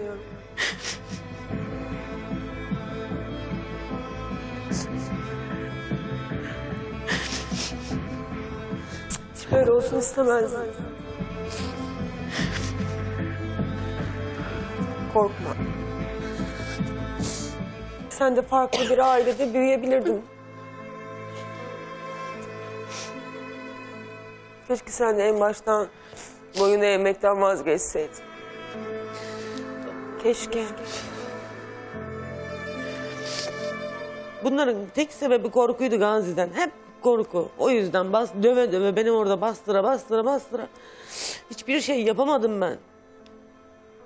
O günkü şeyimizde kızımın görmesini asla istemezdim. Asla. Sen de bunu istemezdin. O silah patladığında üçünüzden birisi ölebilirdi. Ona denk gelmiş. Ekip arkadaşlarımız Afyonkarahisar Sultan Dağı İlçe Emniyet Müdürü ile bağlantıya geçtiler. Onlar da İstanbul Emniyet Müdürlüğü ile görüşmüşler. Emniyet yetkilileri birazdan burada olacaklar. Hemen gelmesinler. Ya niye söyledin?